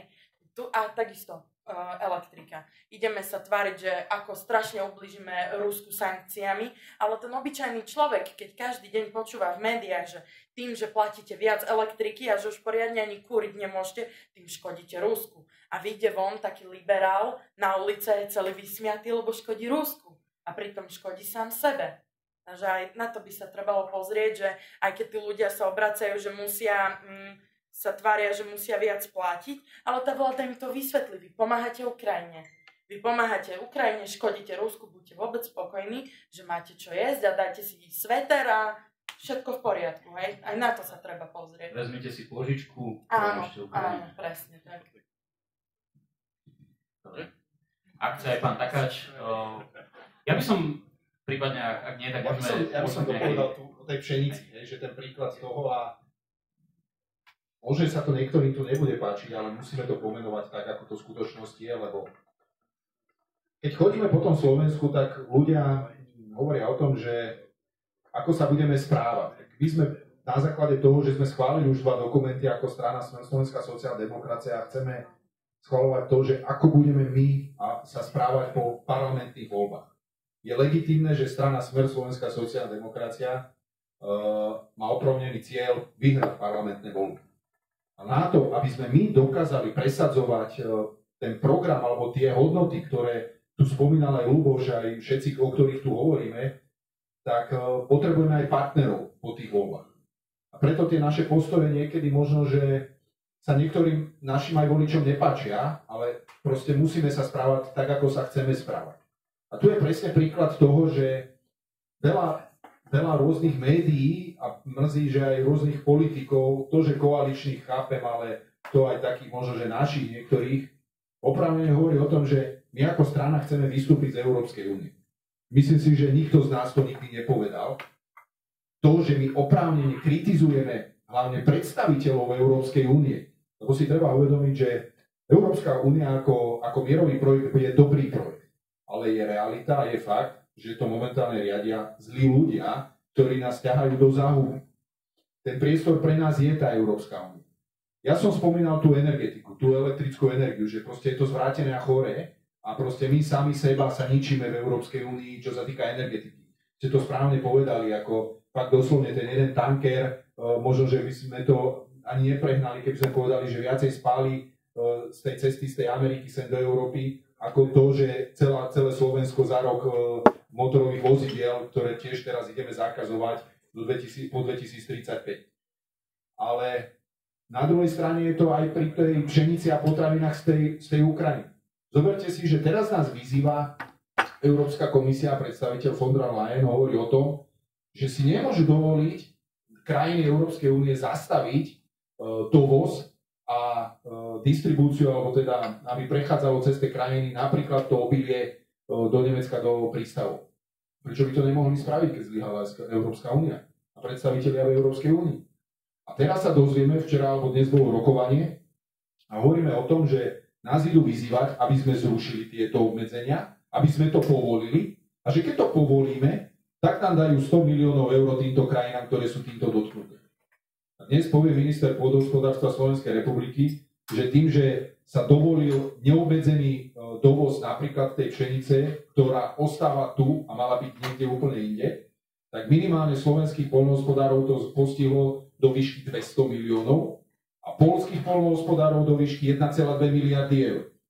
A nám ide Európska únia hovorí, že dáme vám 200 miliónov, keď to zrušíte. Je to prichádza také veľmi zvláštne tých predstaviteľov, že fakt, že keď sa jedná o Ukrajinu, tak tí vrcholní predstaviteľia v tom Bruseli proste klapky, zavrú oči, uši a musíme robiť všetko preto, aby sme proste tým Ukrajincom v tomto pomohli. Ale nepomáhame Ukrajincom, pomáhame hlavne tým prekupníkom, tá Európska únia pomáha. A je veľmi zvláštne, aby som ako predstaviteľ Európskej únie dovolí, že dovážajte to sem a my to budeme kompenzovať. A sami si likvidujeme našich e, polnohospodárov, čiže úplne zvrátený a chorý systém a preto v tomto, v tomto okamihu je úplne prirodzené pre nás, že kritizujeme predstaviteľov Európskej únie. Nie Európsku úniu ako projekt a preto treba aj hovoriť to možno, že ktorým, niektorým e, možno, že sa to nepáči, ale ten náš životný priestor je v tej Európskej únie Keby sme my popierali uh, súčasť v Európskej únii, tak samozrejme môžeme potom mať koaličný potenciál po parlamentných voľbách 0,00, ale na to, aby sme dokázali presadzovať uh, tie hodnoty a to, čo chceme presadzovať pre občanov Slovenskej republiky, musíme mať aj uh, koaličných, koaličných predstaviteľov. Ďakujem. Som k tomu chcela dodať ešte jednu vetu k tej Európskej, Európskej únii, že treba si uvedomiť, že Európska únia nie je už to, čo bolo, keď sme do toho vstupovali a čo nám bolo slubované. Problém nie je v tej Európskej únii ako takej, že teraz rýchlo z toho musíme vystúpiť. Treba len si určiť tie priority tej únii, treba ako suverénny štát zastupovať e, slovenských občanov, treba tam dosadiť ľudí, ktorí naozaj budú bojovať za ten názor a treba docieliť to, aby sa každý štát rešpektoval rovnako. A vrátiť sa naspäť k tým hodnotám, ktoré e, Európska únia hlásala predtým, ako sme do nej vstúpili a tam, kde začínala. Treba sa k tomu len vrátiť, to je všetko. Mne to len pripomenulo niečo o tom európskom projekte. Jeden z citátov, ktorý tu myslím zaznel v tej minulej diskusii, čo sme mali, že keď hovoríme Európska únia je dobrý projekt, len riadený zlými ľuďmi, že dá sa to tak povedať aj o Slovensku, že Slovensko je dobrý projekt, ale takisto riadený zlými ľuďmi. Chcel by som premostiť teda ku poslednej téme, hoci bolo by toho ešte veľmi veľa čoho povedať, ale chceme prejsť aj k otázkam od publika. A tým je to niečo, čo som v úvode spomínal, aj tie rôzne amatérske zlyhania tejto vlády, čo sa týka riadenia pandémie, takisto zneužívania polície na boj s opozíciou. Čo myslíte, viete si predstaviť, alebo očakávate, že bude v budúcnosti nejakým spôsobom, aj to porušovanie ústavy samozrejme, bude nejakým spôsobom vyvodená aj zodpovednosť e, voči týmto skutkom, ktoré sa udiali?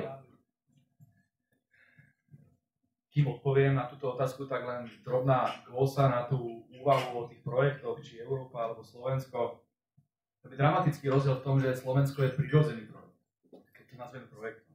Slovensko je národ, ktorý tu má svoje miesto na zemi. Ale tá Európska únia je jeden umelý projekt. To je dramatický rozdiel. Ona je projekt, ktorý mal priniesť dve veci a to je mier a ekonomickú prosperitu. Ono to je racionálne, hej, chceme to, ale to nie je preto, že milujeme teraz zjednocovanie Európy, ale preto, lebo chceme byť donesli tieto dve veci. A oni obidve tieto dve veci popierajú. Však oni sú tí, ktorí ženú Slovensko do vojny proti Rusku, čo nikdy nesmieme dovoliť. Oni sú tí, ktorí nám oslabujú našu ekonomiku kvôli sankciám, čo takisto nesmieme dovoliť. Čiže preto rozumiem tej metafore, ale rozdeľujme to, čo je iba technokratický neoliberálny projekt možno niektorých národov, ktorí, sa, ktorí si želali a ja určite si pamätáte veľkého významného slovenského ľavicového intelektuála Vladimíra Mináča, ktorý už varoval v 90. rokoch pozor na to, Baťko Mináč, pozor na to, aby tí Nemci nedokonali to, čo začali v druhej svetovej vojne úplne inými prostriedkami ekonomickými prostredí európskej integrácie v 90. rokoch a dnes. My si preto musíme chrániť tú suverenitu. A preto aj hovoríme v našom programe, ak nám chcú zobrať právo veta, ktorá je úplným pilierom európskej integrácie dnes, tak jednoducho v tej chvíli stráca európska integrácia zmysel. Ale k tej otázke.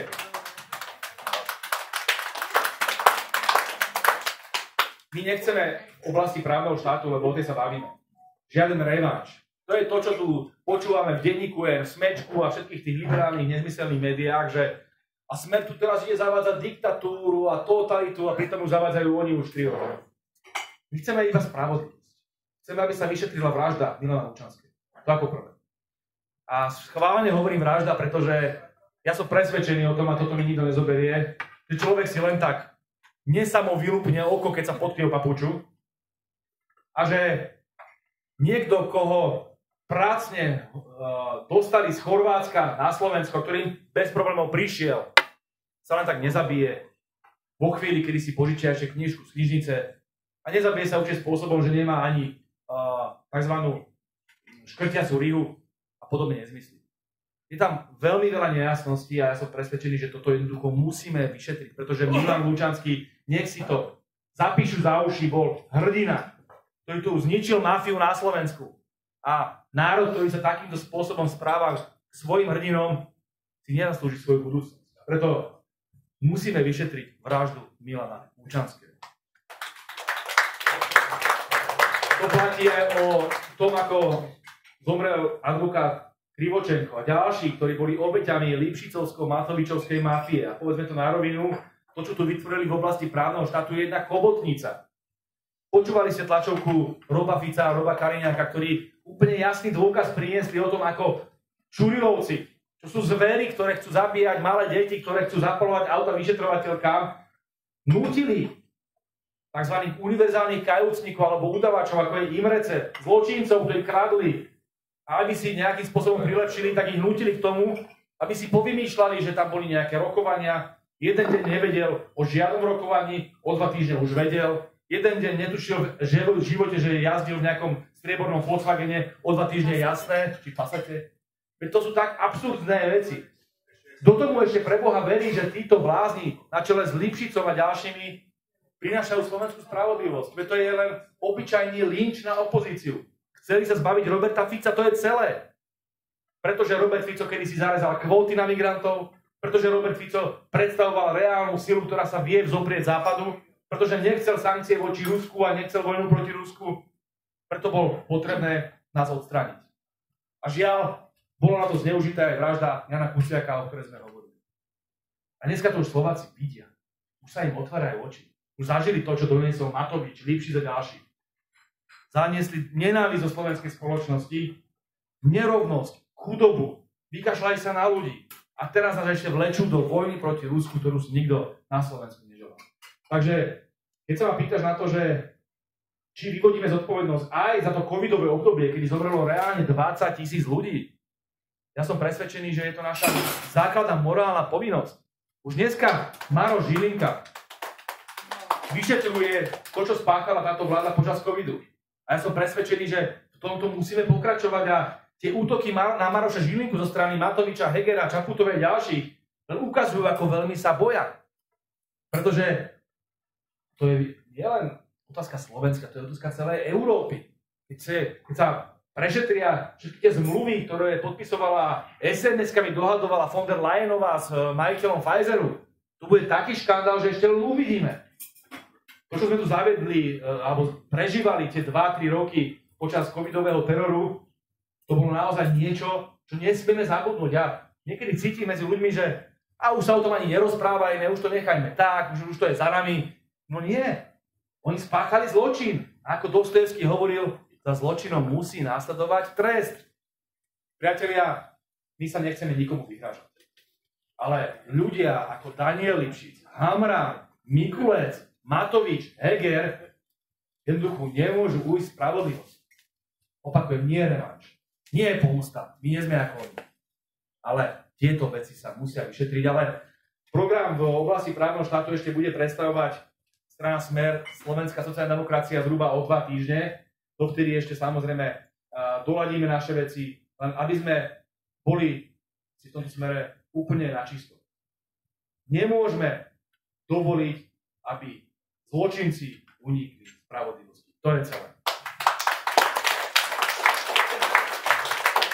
Ďakujem. Ak si želáte ešte vyjadriť sa k tomu v krátkosti a prejdeme k otázkam. Nemáš vôbec pravdu.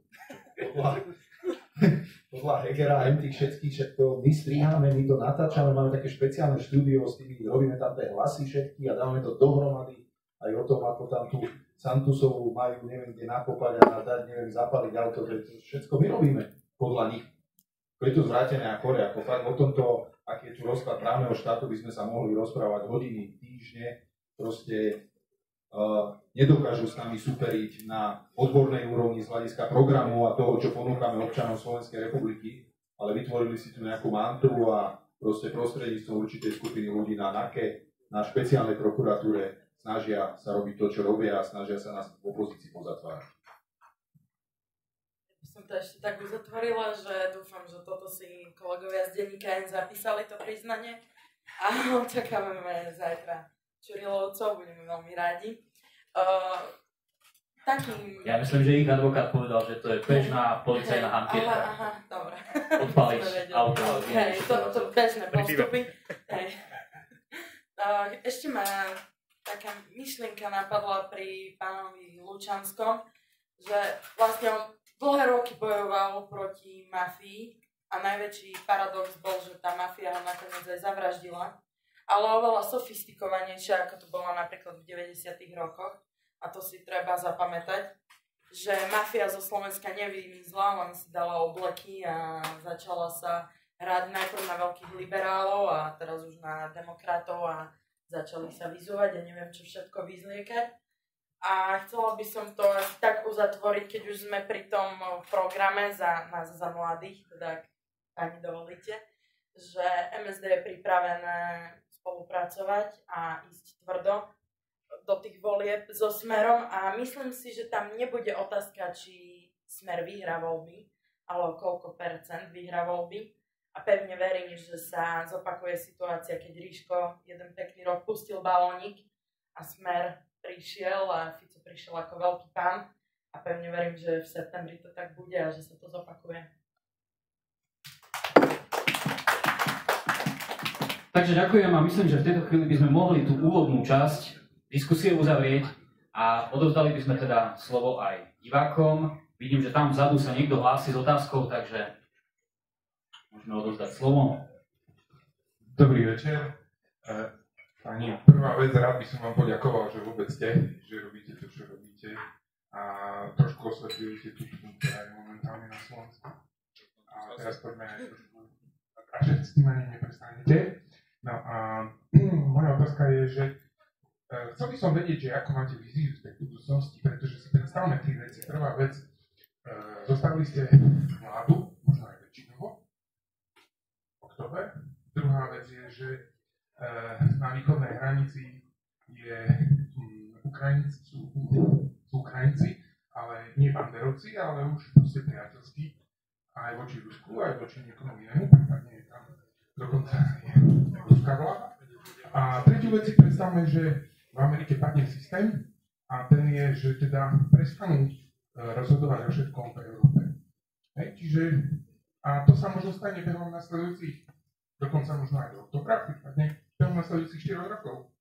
Budete pri korodle, čo budeme robiť v zmysle toho ekonomického, pretože um, musíme byť v nejakom ekonomickom celku, nemôžeme byť Pôjdeme, pôjdeme uh, do Nového Rakúska, Uhorska, aké nové tie celky sa nám vytvoria, do čoho sa budeme spájať, lebo to pronárodné a to, čo hovoríte, to je síce všetko fajn, lenže my potrebujeme kooperovať.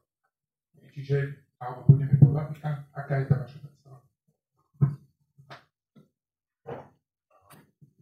Ďakujem pekne za otázku. Pre nás je kľúčovým pojmom, a už som to spomínal, suverenita Slovenska, ale rozumiem tej otázke, že vy chcete sa pýtať ekonomicky, akým spôsobom budeme kooperovať ďalej s väčšími celkami. Samozrejme, náš priestor, a už to Richard naznačil, je Európa, ale nemôže to byť neoliberálna Európa. Hej? Čiže toto je pre nás kľúčové a základným najbližším priestorom sú krajiny V4. Česká republika, Maďarsko, Polsko samozrejme tiež, ale vidíme tam tie geopolitické rozdiely, najmä vo vzťahu k nenávisti voči Rusku. Rakúsko. Poďme sa rozprávať ďalej o, aj o tom možno projekte, ktorý bol v časoch možno uh, našich velikánov, ako bol Milan Hoďa alebo Milan Rasislav Štefaník, kde tá Stredná Európa predstavovala istý celok, ktorý mal svoju silu. Poďme sa o tom rozprávať, mal v Európe väčšiu silu. Ale napriek tomu, že tú otázku kladete vo vzťahu k budúcnosti nejakého spájania, ja by som stále chránil tú slovenskú suverenitu. A napísal som o tom aj knižku Antiglobalista, veľmi som neodporúčam, kde významní svetoví ekonomovia ukazujú, že tá neoliberálna globalizácia, ktorá rozpúšťa národy, rozpúšťa štáty, rozpúšťa všetko, čo je zmysluplné z hľadiska sociálnej ochrany obyvateľov, že to nie je cesta do budúcnosti. Jednoducho sa musíme vrátiť k ochrane aj našej národnej sebestačnosti, aj našej národnej suverenity. To jednoducho je nevyhnutné. Samozrejme, v istých oblastiach je ľahšie chrániť ten záujem vo vzťahu k krajinám možno tretieho sveta alebo v Amerike a tak ďalej, keď sme spojení s niečím. Ale Slovensko si musí vedieť chrániť národnú suverenitu. Takže náš životný priestor je jasný, ale povedzme si na rovinu, nemôžeme vyňať z budúcnosti dobré vzťahy s Ruskou federáciou.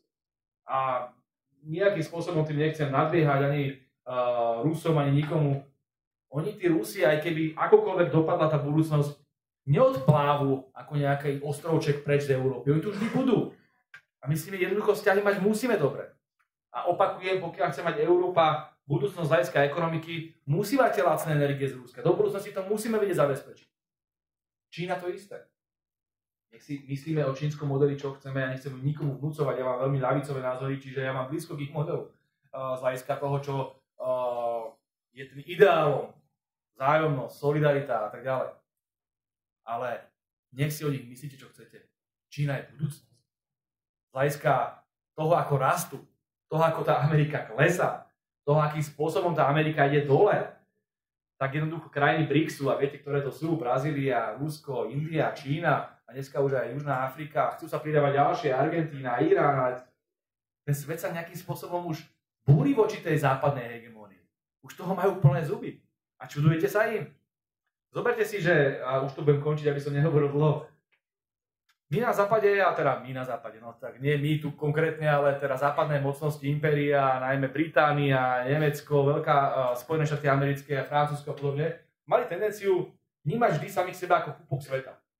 To, čo sa odohrá v tej francúzskej alebo v tej americkej kaviarni, musí nevyhnutne ten Číňan, ten Argentínčan, ten Brazílčan aj ten Iránec rešpektovať. Toto sú takí podľudia. A my vysvetlíme, ako sa veci majú. A keďže my sme si to vymysleli liberalizmus a nejaké ľudské práva, sloboda demokracia, tak všetci to musia do, do posledného detailu plniť. To je ten imperiálny model, ale toto preboha už konečne odmietnime.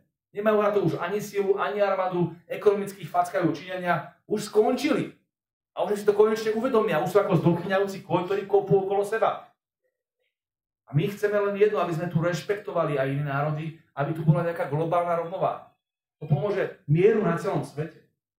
Takže do budúcnosti chráňme si vlastnú národnú suverenitu a prestaňme sa podhadzovať západu. To sú naše dva základné lieky.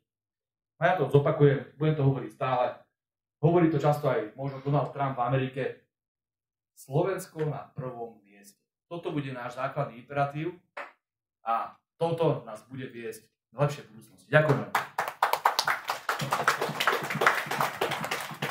Ešte predtým, ako položíme ďalšiu otázku, by som chcel pripomenúť, že máme tu aj viacero kníh od uh, Luboša Blahu, takže nech sa páči, ak budete mať záujem z knihkupectva Inlibri, môžete sa zastaviť a zakúpiť si a samozrejme aj dať podpísať od autora. A ešte raz pripomínam, že je tu možnosť teda zapísať sa na hárok po skončení diskusie, ak chcete s nami aj aktívne sa zapojiť do našich činností mladých sociálnych demokratov. Nech sa páči, prejdime teda k tej ďalšej otázke. Príjemný dobrý večer. Odostávam srdečné pozdravy z východu, zo Stropkova, zo široké členské základne. Moja prvá otázka začína Viktoria, v čom spočíva úloha MSD, aké sú, aké sú tie hlavné body, v čom, stranu, aby získala čím, čím väčší výsledok Druhá otázka, Richard. V prípade, že budete mať tú možnosť v ideálnom prípade e, ministerstvo poľnohospodárstva v budúcnosti, ako by ste znova reštartovali naše poľnohospodárstvo, zlepšiť sebestačnosť Slovenska, pretože sme dosť závislí. V pár bodoch. E, Ľuboš, my sme predsa členom Európskej únie, a na to nemôžeme si vyskakovať tak vysoko, ako by sme sami chceli. Keď chceš vlkmi byť, musíš s nimi byť. Do akej miery vieme byť samostatní, vieme robiť suverénnu politiku na všetky štyri strany, byť e, Maďarsko, plus e, tie európske fondy až netečú až tak, ako by Maďarsko. B4 takzvané už nie je. To ste pomenovali, Polsko sa už tiež preč. Do akej miery budeme sami túto zahraničnú politiku Takže asi začne prvá MSD, teda Mladí sociálni demokrati sú úzko spojení so stranou SME. Je to mládežnícká organizácia, takže nie sme politická strana a snažíme sa spolupracovať či už na tej centrálnej úrovni v Bratislave, alebo po celom Slovensku, či už sa týka to volieb, pomáhame rôznych akcií, takisto aj referende, referenda, takže snažíme sa úzko spolupracovať a tých malých, mladých ľudí nejak priúčať tej politike a prisúvať ich k tomu smeru, aby sa niečo priučili, aby z nich vznikli napríklad noví budúci politici a tak ďalej. Pretože e, okresné štruktúry sú momentálne v smere tak uh, posadené, že sú tam starší, skúsenejší ľudia. A práve my sme tu na to, aby sme spojili tých mladých ľudí, ktorí možno majú viac energie s tými skúsenejšími a tak vlastne ten smer, tú stranu pretavili aj medzi tých mladých. Čo sa týka uh, polnohospodárstva do budúcnosti, možno, že to je aj odpoveď ten pán, čo sa pýtal na tom, ako pri tej ideálnej konštalácii po tých parlamentných voľbách v rámci toho. Eh, ja som veľmi rád, že aj u nás v strane eh, Smer Slovenská sociálna demokracia sa medzi tie priority dostalo aj to polnohospodárstvo, lebo v dnešnej dobe si všetci uvedomujeme, že je veľmi potrebné, aby to polnohospodárstvo fungovalo v tých krajinách, teda u nás na Slovensku. Samozrejme, že to je dlhá diskusia, ako, lebo smutné na tom je to, že tí predstaviteľia, ktorí, rok, ktorí rokovali, tí predstaviteľia predchádzajúcich tých vlád, pravicových, keď sme vstupovali do Európskej únie, vyrokovali tak katastrofálne podmienky pre nás, že my sme sa v zásade do tejto chvíle ešte v rámci priamých platieb a eurofondov nevyrovnali s tými západnými krajinami. Nie sme na tej rovnakej úrovni.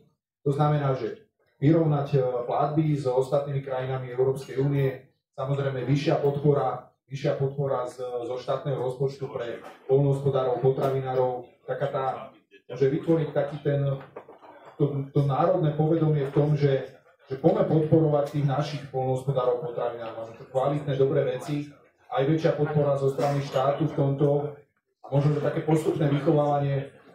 A poviem úplne jednoducho. Prepočítajme si, koľko je zamestnancov napríklad v štátnej a verejnej správe. Koľko ľudí pracuje, alebo koľko ľudí je v škôlkach, školách, stredných, základných, vysokých, v nemocniciach, na rôznych úradoch.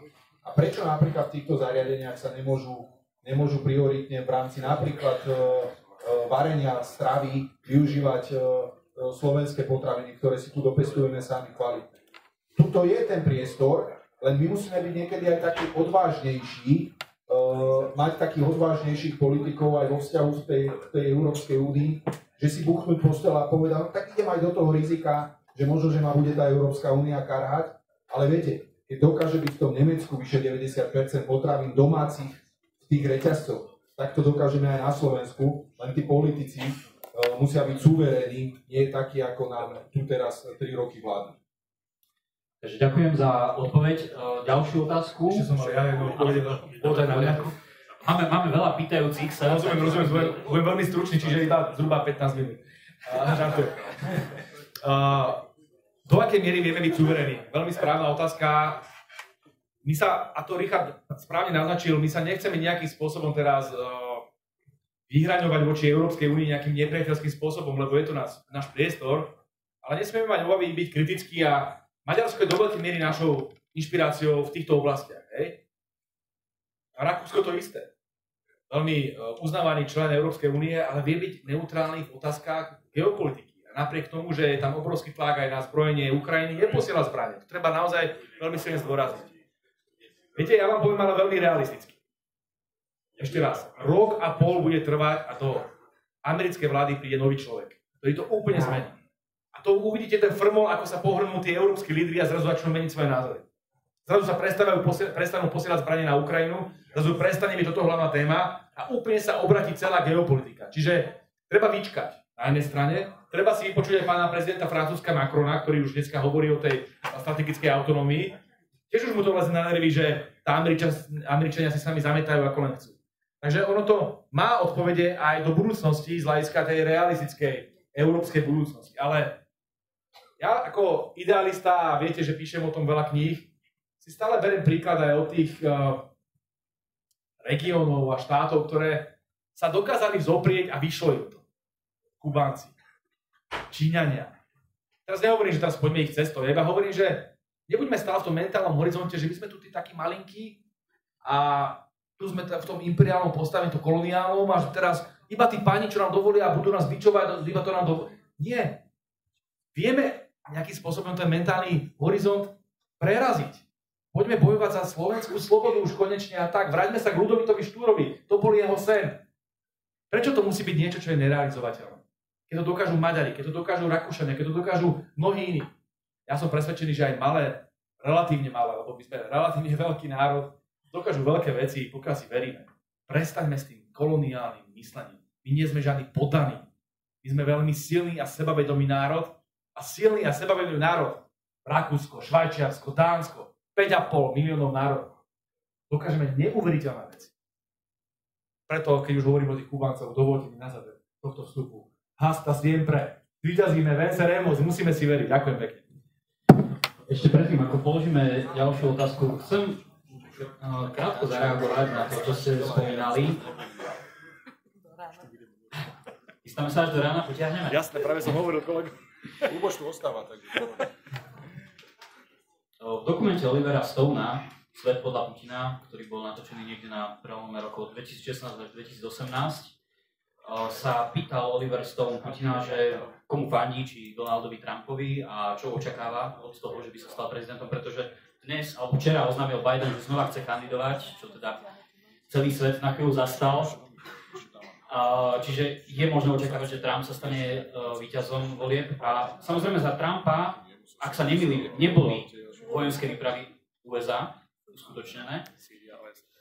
A, avšak v tom dokumente Olivera Stona Putin povedal, že viete, len to tak nefunguje. Lebo pýtali sa ho aj na o, Sandersa, ktorý mal príliš o, lavicový vzhľad a hovorí, že pán Sanders ešte len zistí, keď nastúpi do úradu, že nie všetko sa dá zmeniť. Takže vlastne na to reagoval tým spôsobom, že prezident sa možno zmení, ale americká politika ostane. Neobávame sa tohoto? Nie je to príliš optimistické očakávanie, že ako dopadnú voľby v USA? Veľmi stručne, lebo už ma Richard upozoroval, aj sme tu neboli do rána. Veľmi stručne. zapamätáme si ten termín, ktorý de facto, s ktorým prišiel Donald Trump. To je termín deep state. Pretože je veľmi dôležitý aj v slovenských reáliách. Aj napriek tomu, že získame moc možno na Slovensku, nie je tak jednoduché, že takto zmeniť veci. To isté nedokázal Donald Trump ako americký prezident, to isté platí aj v Európe. Je tu neuveriteľná masa. Tí z vás, ktorí študujú filozofiu, Antonio Gramsci to krásne vysvetloval. Tu máte takú vrstvu tej hegemónie, to znamená mimovládky, byrokrati, technokrati a teraz všetko to, čo obsadzujú tie úrady, ktoré udržuje stále tú vojnovú atmosféru, tú neoliberálnu atmosféru. A to preraženie je veľmi ťažké. Takže samozrejme, nie som, nie som eh, naivný. To znamená, viem, že to, že Donald Trump, ak aj vyhrá voľby, nezmení všetko. Ale ja som presvedčený, že minimálne v prípade vojny proti Rusku sa veci zmenia. Donald Trump má úplne iné priority a nie je naozaj v záujme Slovenska, aby sme si ho idealizovali, ale som presvedčený, že ukončí vojnu na Ukrajine a ak Slovensku má na niečo záležať, tak je to to, aby sme vrátili do Európy mier a to môže ísť jedine prostredníctvom Trumpa, nie prostredníctvom Bidena. Ďakujem, takže môžeme položiť ďalšiu otázku. Dobrý večer. Takže moja prvá otázka na pána Blahu by bola, že pán Mazurek podal trestné oznámenie na vládu za poslanie tých stíhačiek na Ukrajinu. Aký je nejaký jeho názor k tomu a či vidí nejaké úspešné vyriešenie toho, či bude niekto aj odsudený? A otázka na pani Gromovú, či MSD organizuje nejaké akcie pre mladých študentov. Ďakujem. Ďakujem pekne za otázku. Pri všetkej úcte k pánovi Mazurekovi my sme podali takisto trestné oznámenie na, na vládu. Dali sme to samozrejme aj ne, na generálnu prokuratúru, trestné oznámenie. A to bolo trestné oznámenie, na ktorom sme pracovali niekoľko týždňov, naši právnici. Čiže určite má aj pán Mazurek nejakých právnikov okolo seba, ale ubezpečujem vás, že to bude veľmi kvalifikované. A to, čo spravila vláda Slovenskej republiky, odvolaná vláda, je úplne flagrantné porušenie ústavy Slovenskej republiky. A viete, nie je možné, aby sme takýmto spôsobom dehonestovali Slovenskú ústavnosť a štátnosť. Preto, či už to bude počas tohto volebného obdobia, alebo počas ďalšieho, policia jednoducho musí konať. Ja nemám nejaké veľké ilúzie ohľadom toho, že teraz vyšetrovateľia na čele s pánami Čurilovcami a podobne odsudia Hegera, Nadia a ďalších za to, že spáchali trestný čin de facto. Ale keď príde na Slovenská spravodlivosť, a to sme rozprávali, tak ja som presvedčený, že spravodlivosť si ich dožene. A viete, je tu teraz aj prípad pána Budaja a možno o tom Richard porozpráva viacej, ktorý nerešpektoval rozhodnutie parlamentu ohľadom spalovacích motorov a toho, že sa majú zakázať v roku 35, čo my odmietame. Nie je predsa možné, aby odvolaná vláda takto porušovala ústavu ako, na, ako trhací kalendár. Nie je to možné. Všetci ústavní právnici, ktorých poznám, všetci dokonca, ktorí nenávidia smer a boli citovaní v denníku v Smečku, v Pravde, kdekoľvek, všetci hovoria, že Náď, Čaputová a Heger porušili ústavu Slovenskej republiky. Povedzme to na rovinu. To sú kriminálnici. To nie je len tak, že teraz poruším ústavu a tvárim sa ďalej ako národný hrdina. Jednoducho sú to kriminálnici. A povedzme to už konečne aj o prezidentke Čaputovej. Zakázala mi povedať, že je agentka. Nemôžem hovoriť, že je vlasti zradkynia. Paradoxne môžem hovoriť o nej, že je fašistka. A súd mi ešte nezakázal hovoriť o nejakou kriminálničke. No je to kriminálnička.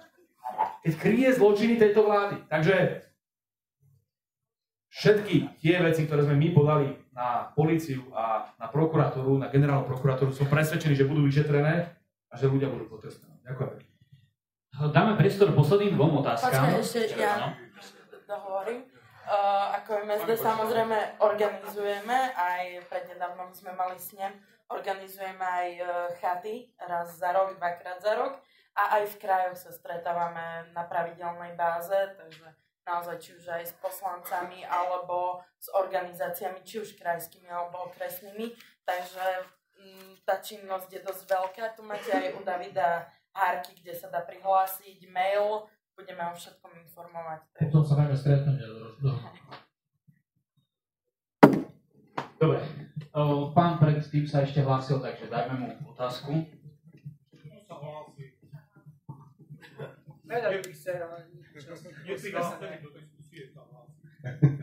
Tak skúsme stručne, možno sa nám podarí aj ja, ja budem predpokladám veľmi stručný. Dobrý večer, vážení priatelia. povedať, lebo On je učiteľ a preto sme si sa dali do poslednej rady, lebo to keď spustia takýto.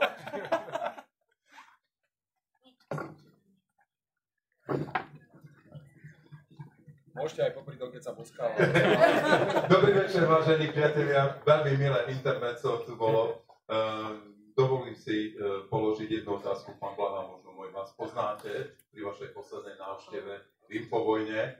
Uh, som vám položil otázku ohľadom červíkov, čiže asi ma budete vedieť, kde zaradiť. Uh, mám jednu zásadnú pripomienku a v tom. Skrát to odznelo, že musíme veriť si Slováci na prvom mieste všetko v poriadku. Moja životná skúsenosť ale hovorí trošičku o niečom inom. Robil som v štruktúrách e, za Slovensko v Európskej únii a výsledok bol ten, že v, v oblasti chemickej legislatívy, REACH legislatívy, ktorá sa na Slovensku implementovala, Slovensko zastupovali e, dve firmy, Slovnaft a US Košice. A e, Košice mal poradný hlas 2%. To znamená, e, veci, ktoré sme predložili, mohli byť e, akceptované po odsúhlasení všetkých, ale proti 78% Arcelovu sme nemali šancu. Doslova a do písmena.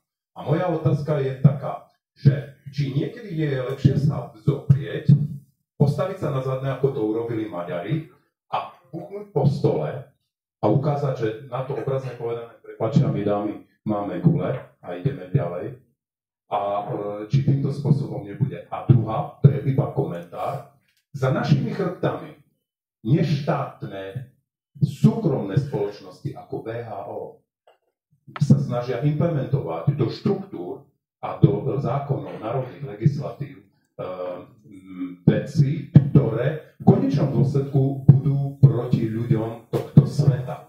To znamená, každý si myslí, že sme vyšli z covidu a tak ďalej. Nie, povinné očkovania a podobné veci budú na programe ďalej. Bude taká situácia, môže nastať taká situácia, že človek sa stane vo vlastnom štáte vyhnancom. To je veľmi závažné. Čiže tom, keby ste sa mohli vyjadriť. Ďakujem. Skúsme naozaj stručne, aby sme dali priestor ešte tým, ktorí sa chcú spýtať. Dvom vetami, lebo naozaj musí byť stručný, už na mňa Richard zazera. Viete, ja ho musím odviesť. Dobre viete, že v tej zahraničnej politike uh, človek musí presadzovať prioritné záujmy a musí to robiť veľmi inteligentne. Máte úplnú pravdu, že treba sa niekedy zoprieť a buchnúť po stole. Ale nemôžete to robiť za každým. Lebo vás nikto nebude brať vážne. Takže Robert Fico to dokázal v otázke migračných kvót. Spomente si. Dokázal to v otázke Kosova. Dokázal to v otázke stiahnutia vojakov z Iraku a podobne. A teraz Marakešský dohovor a podobne. Tam tlačí. Áno, tie tlaky boli obrovské v strane Smer, zoberte si celé to krídlo okolo Pelegriniho a tak ďalej, však uh, už našťastie nemáme tento problém. A teraz, ja som presvedčený, že my musíme vedieť zabrať v otázke zastavenia dodávok zbraní na Ukrajinu a v otázkach zastavenia sankcií, ktoré ubližujú Slovensku. Toto sú dve kľúčové oblasti. A sú veci, kde budeme musieť robiť kompromisy, ale to robí aj Viktor Orbán. Zoberte si tomto smere minister zahraničných vecí Sian to je veľkým vzorom pre mnohých diplomatov, ktorí rozmýšľajú inak. To nie je tak, že by došiel a búchal, búchal, búchal. Oni musia takisto rozmýšľať veľmi, veľmi komplexne. Tam majú priority a niekde vedia ustúpiť. Preto aj keby sme v tom septembri prišli k moci, nech si ľudia pre Boha nerobia ilúzie, že teraz všetko sa zmení, celý svet sa zmení. No Slovensko je príliš malé na to, aby zmenilo celý svet. Ale musíme vedieť, že ideme správnym smerom, správnou cestou. A to je cesta národnej suverenity a mieru. Toto je náš základný cieľ. Mier. Zastaviť zbranie na Ukrajinu, zastaviť sankcie proti Ešte, ešte tú druhú otázku, keby ste mi vedeli povedať. Tie mimovládky, VHOčko a podobné veci. Skúsim potom. Dobre, Dobre. ďakujem. Dobrý večer, prajem. Pán Blaha, ja by som sa rád opýtal, vy ste spomínali mimovládne organizácie. To, v akom stave sa Slovensko nachádza, majú na svedomí aj mimovládne organizácie. V minulosti za vášho pôsobenia ste im prispievali peniaze. Chcem sa opýtať do budúcna, či by nebolo lepšie urobiť niečo, ako urobilo Rusko. Prijať nejaký zákon, aby prijať nejaký zákon, aby, aby dokázali svoj pôvod peniazy, pokiaľ sú zo, zahraničia tie peniaze, alebo niečo podobné. Čo máte v pláne robiť s mimovládkami? Ja by som mohol ešte pána doplniť, e, pretože jednu z týchto otázok som zvažoval aj ja. E, treba si uvedomiť, že aj ten veľký tlak, ktorý tu bol na pád vlády ešte Roberta Fica a následne aj prehru vo voľbách, určite veľmi silne ovplyvnili aj tieto mimovládky a médiá, ktoré majú obrovskú presilu v slovenskej spoločnosti. Takže otázka, že áno, poznáme aj svojho nepriateľa, akým spôsobom sa dá zakročiť. Ja som tak trošku úsmevne sa zabavil nad tým zákonom o cenzúre, ktorý prijali. Že štyria ľudia na NBU môžu zatrhnúť celé médium na základe toho, že vyhodnotia jeden článok, ktorý vyhodnotia ako vakcerský. Či toto zákonodárstvo napríklad nemôže byť použité proti tým, ktorí ho vytvorili.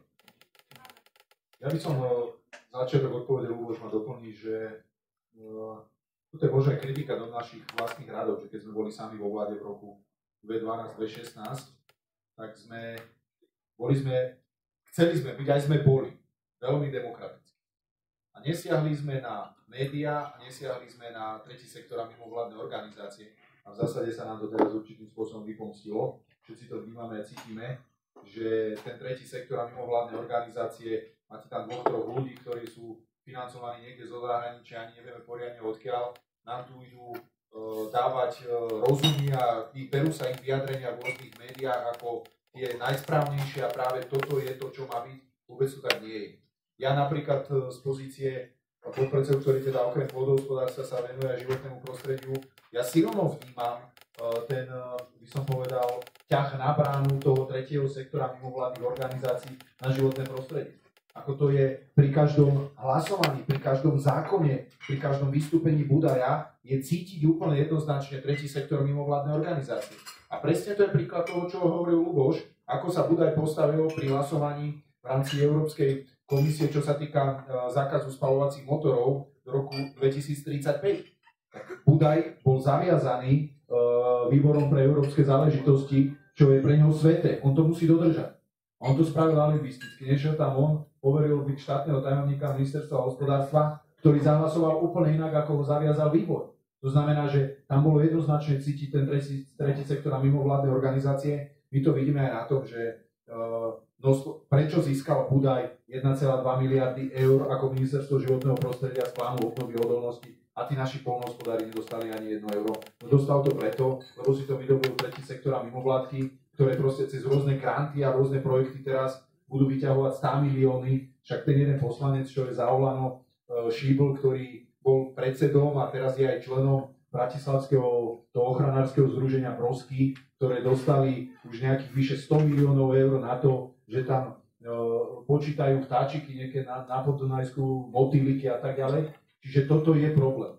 A Luboš presne vie, čo budeme s tým tretím sektorom mimovládkami robiť keby to bolo iba na mne. Však práve preto. Ale určite by som nepoužíval ako inšpiráciu Rusko, to sa dneska nesmie. Povedzme to úplne na rovinu. My chceme americkú demokraciu. Robíme presne to, čo americká alebo izraelská demokracia. Naše najväčšie vzory. A to je presne to, čo hovoríte. To znamená, ukážme na tie toky tých peniazí, ktoré idú z zahraničia, ktoré financujú tie trojské kone, ktorými sú mimovládky. A ja vám poviem úplne na rovinu, kto nám dneska vládne? Zuzana Čaputová je výtvorom mimovládky VI Uris, ktoré keď som si pozeral, koľko desiatok alebo až stovky tisíc dostávali z americkej ambasády alebo z nadácie otvorenej spoločnosti Georgia Sorosa, tak som nechápal. Ona je de facto tvorcom Spojených štátov amerických. Nemôžem povedať americká agentka, hej, nikto sa také niečo nepočul. To som nepovedal. Naď. Takisto mal mimovládku, ktorú financovali americké zbrojovky do veľkej miery, ale takisto aj rôzne ambasády. Káčer, to bol šéf Globseku. To je štát v štáte ten Globsek. A ja vám poviem úplne úprimne, a Richard má úplnú pravdu. Najväčšou chybou, ak by ste mi sa nás pýtali, že akú najväčšiu chybu ste spravili, kým ste vládli, strana smer, najväčšou chybou bolo to, že niektorí ministri s veľkou radosťou posielali 100 tisíce takýmto organizáciám. Toto musí prestať. Utiahnuť kohútik. Nepotrebujete nič viac. Utiahnuť politiky. Viete, tieto mimovládky majú hybridné zdroje, oni majú dva typy financovania. Jeden je zo zahraničia, z rôznych nadácií, ako je Soros a tak ďalej. Druhý je zo slovenského štátu. Oni sú do polovice závislé od slovenského štátu, od ministerstiev, ktoré si kupujú ich priazeň. Utiahnuť kohútik. No to je veľmi jednoduché. Stačí urobiť poriadky na ministerstva. Presne tak. a zároveň uh, stransparentiť aj ten daňový proces, transparentiť celkovo ich príjmy. Toto bude naozaj niečo, na čo sa zameriame. Ja to hovorím veľmi jednoducho. Urobiť poriadok s médiami a mimovládkami na Slovensku. Nemyslím tým nič zlé, len veľkú, krásnu, srdečnú a slastnú americkú demokraciu. Ďakujem. Dobre, takže náš čas sa v tejto chvíli naplnil. Ja sa ospravedlňujem všetkým tým, ktorí nestihli položiť otázky, avšak páni tu ešte chvíľku budú, takže ak máte záujem, môžete individuálne položiť otázku. A ja by som teda ešte na záver...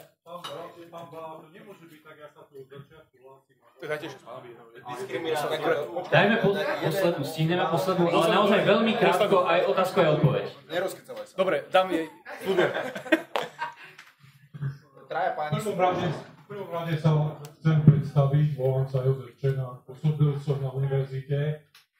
Pánu Špicovi som písal v roku 2016 o tom, aby e, monitoroval, aby monitoroval mimovládne organizácie, pretože ako vedec, ja som bol zapojený v európskych projektoch a tak ďalej, získal som peniaze, pôsobil som tu na univerzite Pavla Jozefa Šaparika a zistil som, že vlastne ten tretí sektor sa dostal na univerzity. To znamená, na univerzitách, konkrétne na univerzite Pavla Jozefa Šaparika pôsobili ľudia. Ja som sa písomnou obracal na pána Fica s týmto problémom, nedostal som žiadnu odpoveď. To je samozrejme, on mal iné starosti. Ďalší taký veľký problém bol, čo som počúval váš program, bola tá popularizácia Slovenska, že by sa rodilo viac detí a tak ďalej. Ja som mu písal v roku 2016, lebo som vydal takú štúdiu, že vlastne v súvislosti s tou uh, migračnou krízou. Pretože nechcel som, aby prevládal ten model, že tu sa vyprázdni zem a tu nám dovedú tých cudzincov. Rovnako som ho pýtal o podporu, lebo som publikoval nejaký článok 860 eur. Počkajte chvíľu. Ja viem, ale teraz tá otázka je, hej, Čiže vlastne, čo sa zmenilo? Hej, že zrazu tretí sektor je nepriateľ, zrazu chceme, aby bolo viac detí a tak ďalej. Pritom tie problémy tu boli, boli tu ľudia, ktorí upozorňovali aj najvyššie vedenie strany Smer, konkrétne pána Fica, takisto aj na otázku právneho štátu.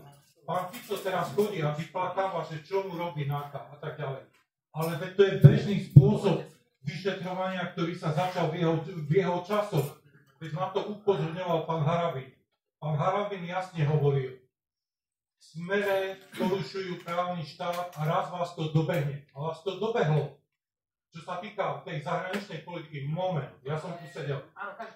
Ja viem, ja viem, ale toto chcem povedať, že na jednej strane vy ste sa čudovali, že vás ľudia nie, to nezvolili. Ale nezvolili vás z toho dôvodu, že videli ten uh, rozpor medzi tým, čo vy rozprávate, veď ako hlasuje pani Beňová. Ja ju sledujem, vy to máte progresívne. A vy tu hovoríte, že my v Európskej únii. Tak si pozrite, ako hlasuje Uhry, Radačovský a tak ďalej. Čiže na jednej strane, ja som bol váš volič, hej, ale teraz pochybujem o tom, či vás budem voliť a preto som to aj prišiel, hej. Ja si vás osobne vážim, aj knihu Leninovi a tak ďalej. Mám to kúpené.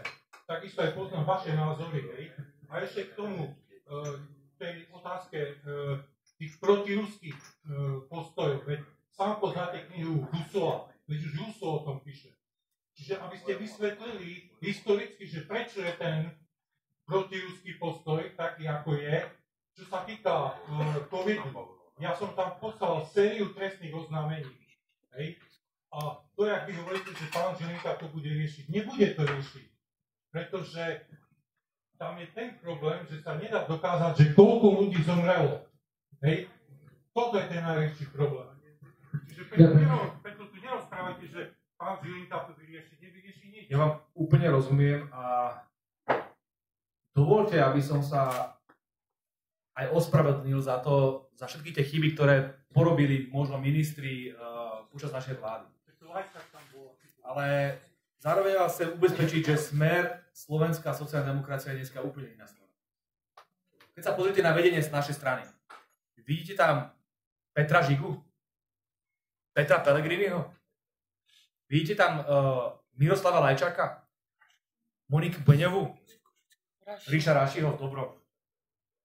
Nie, vidíte tam Luboša Blahu, Richarda Takáča, Láca Kamenického, Erika Kaliňaka, ľudí, ktorí rozmýšľajú úplne inak. Tváriť sa teraz, že za všetko zlé môže smer, to je takéto Matovičovské, lebo smer. Nie.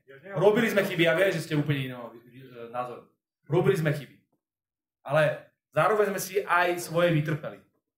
To, čo napáchali mimovládky s Kuciakom, to, čo urobili Milanovi Lučanskému, to, čo nám porobili za tie posledné roky, to, čo robia teraz vo vzťahu k nám médiá a mimovládky, koho by to neprebral? Takže rozumiem vaše skepsy, rozumiem vaše emócii, ale verte tomu, že Smer, Slovenská sociálna demokracia je dneska nová strana, ktorá zmení Slovensko k lepšiemu. Ďakujeme. Otázku už keď len osobne. Ďakujeme. Takže už naozaj náš čas pokročil. Naša diskusia sa v tejto chvíli končí. Pripomínam ešte raz, nech sa páči, pohostite sa prípitkom, ktorý sme pre vás prichystali. Tí, čo majú otvorené účty, prosím, nezabudnite, ešte počkajme na to podpisovanie, prosím vás chvíľu. Tí, čo majú otvorené účty, prosím, nezabudnite si ich vyplatiť. A rád by som vás teda upriamil vašu pozornosť na to, aby ste sa zapojili medzi mladých sociálnych demokratov, tak ako sme spomínali na ten hárok, ktorý tu je. Pripojili sa do ďalších diskusí, ktoré chystáme. Najbližšie bude už tento týždeň diskusia s Mimi Šrámovou. Pripravujeme diskusiu o športe a politike a taktiež ďalšiu diskusiu v Michalovciach. Dovolte mi, aby som teda na záver... Mi to neodpustil, že by som nedal vám podpísať. Eh, Vlastovi, Vlastov, Vlastov. Dnes tu s nami spolu diskutovali pán Richard Takáč, Viktória Gromová, a Luboš Blaha. Áno. Vlastový, hej? Áno. A večerom som vás prevádzal ja, moje meno je Alexander Jabov. Super. Ďakujem a vidíme sa na ďalších podujatiach. Dovidenia.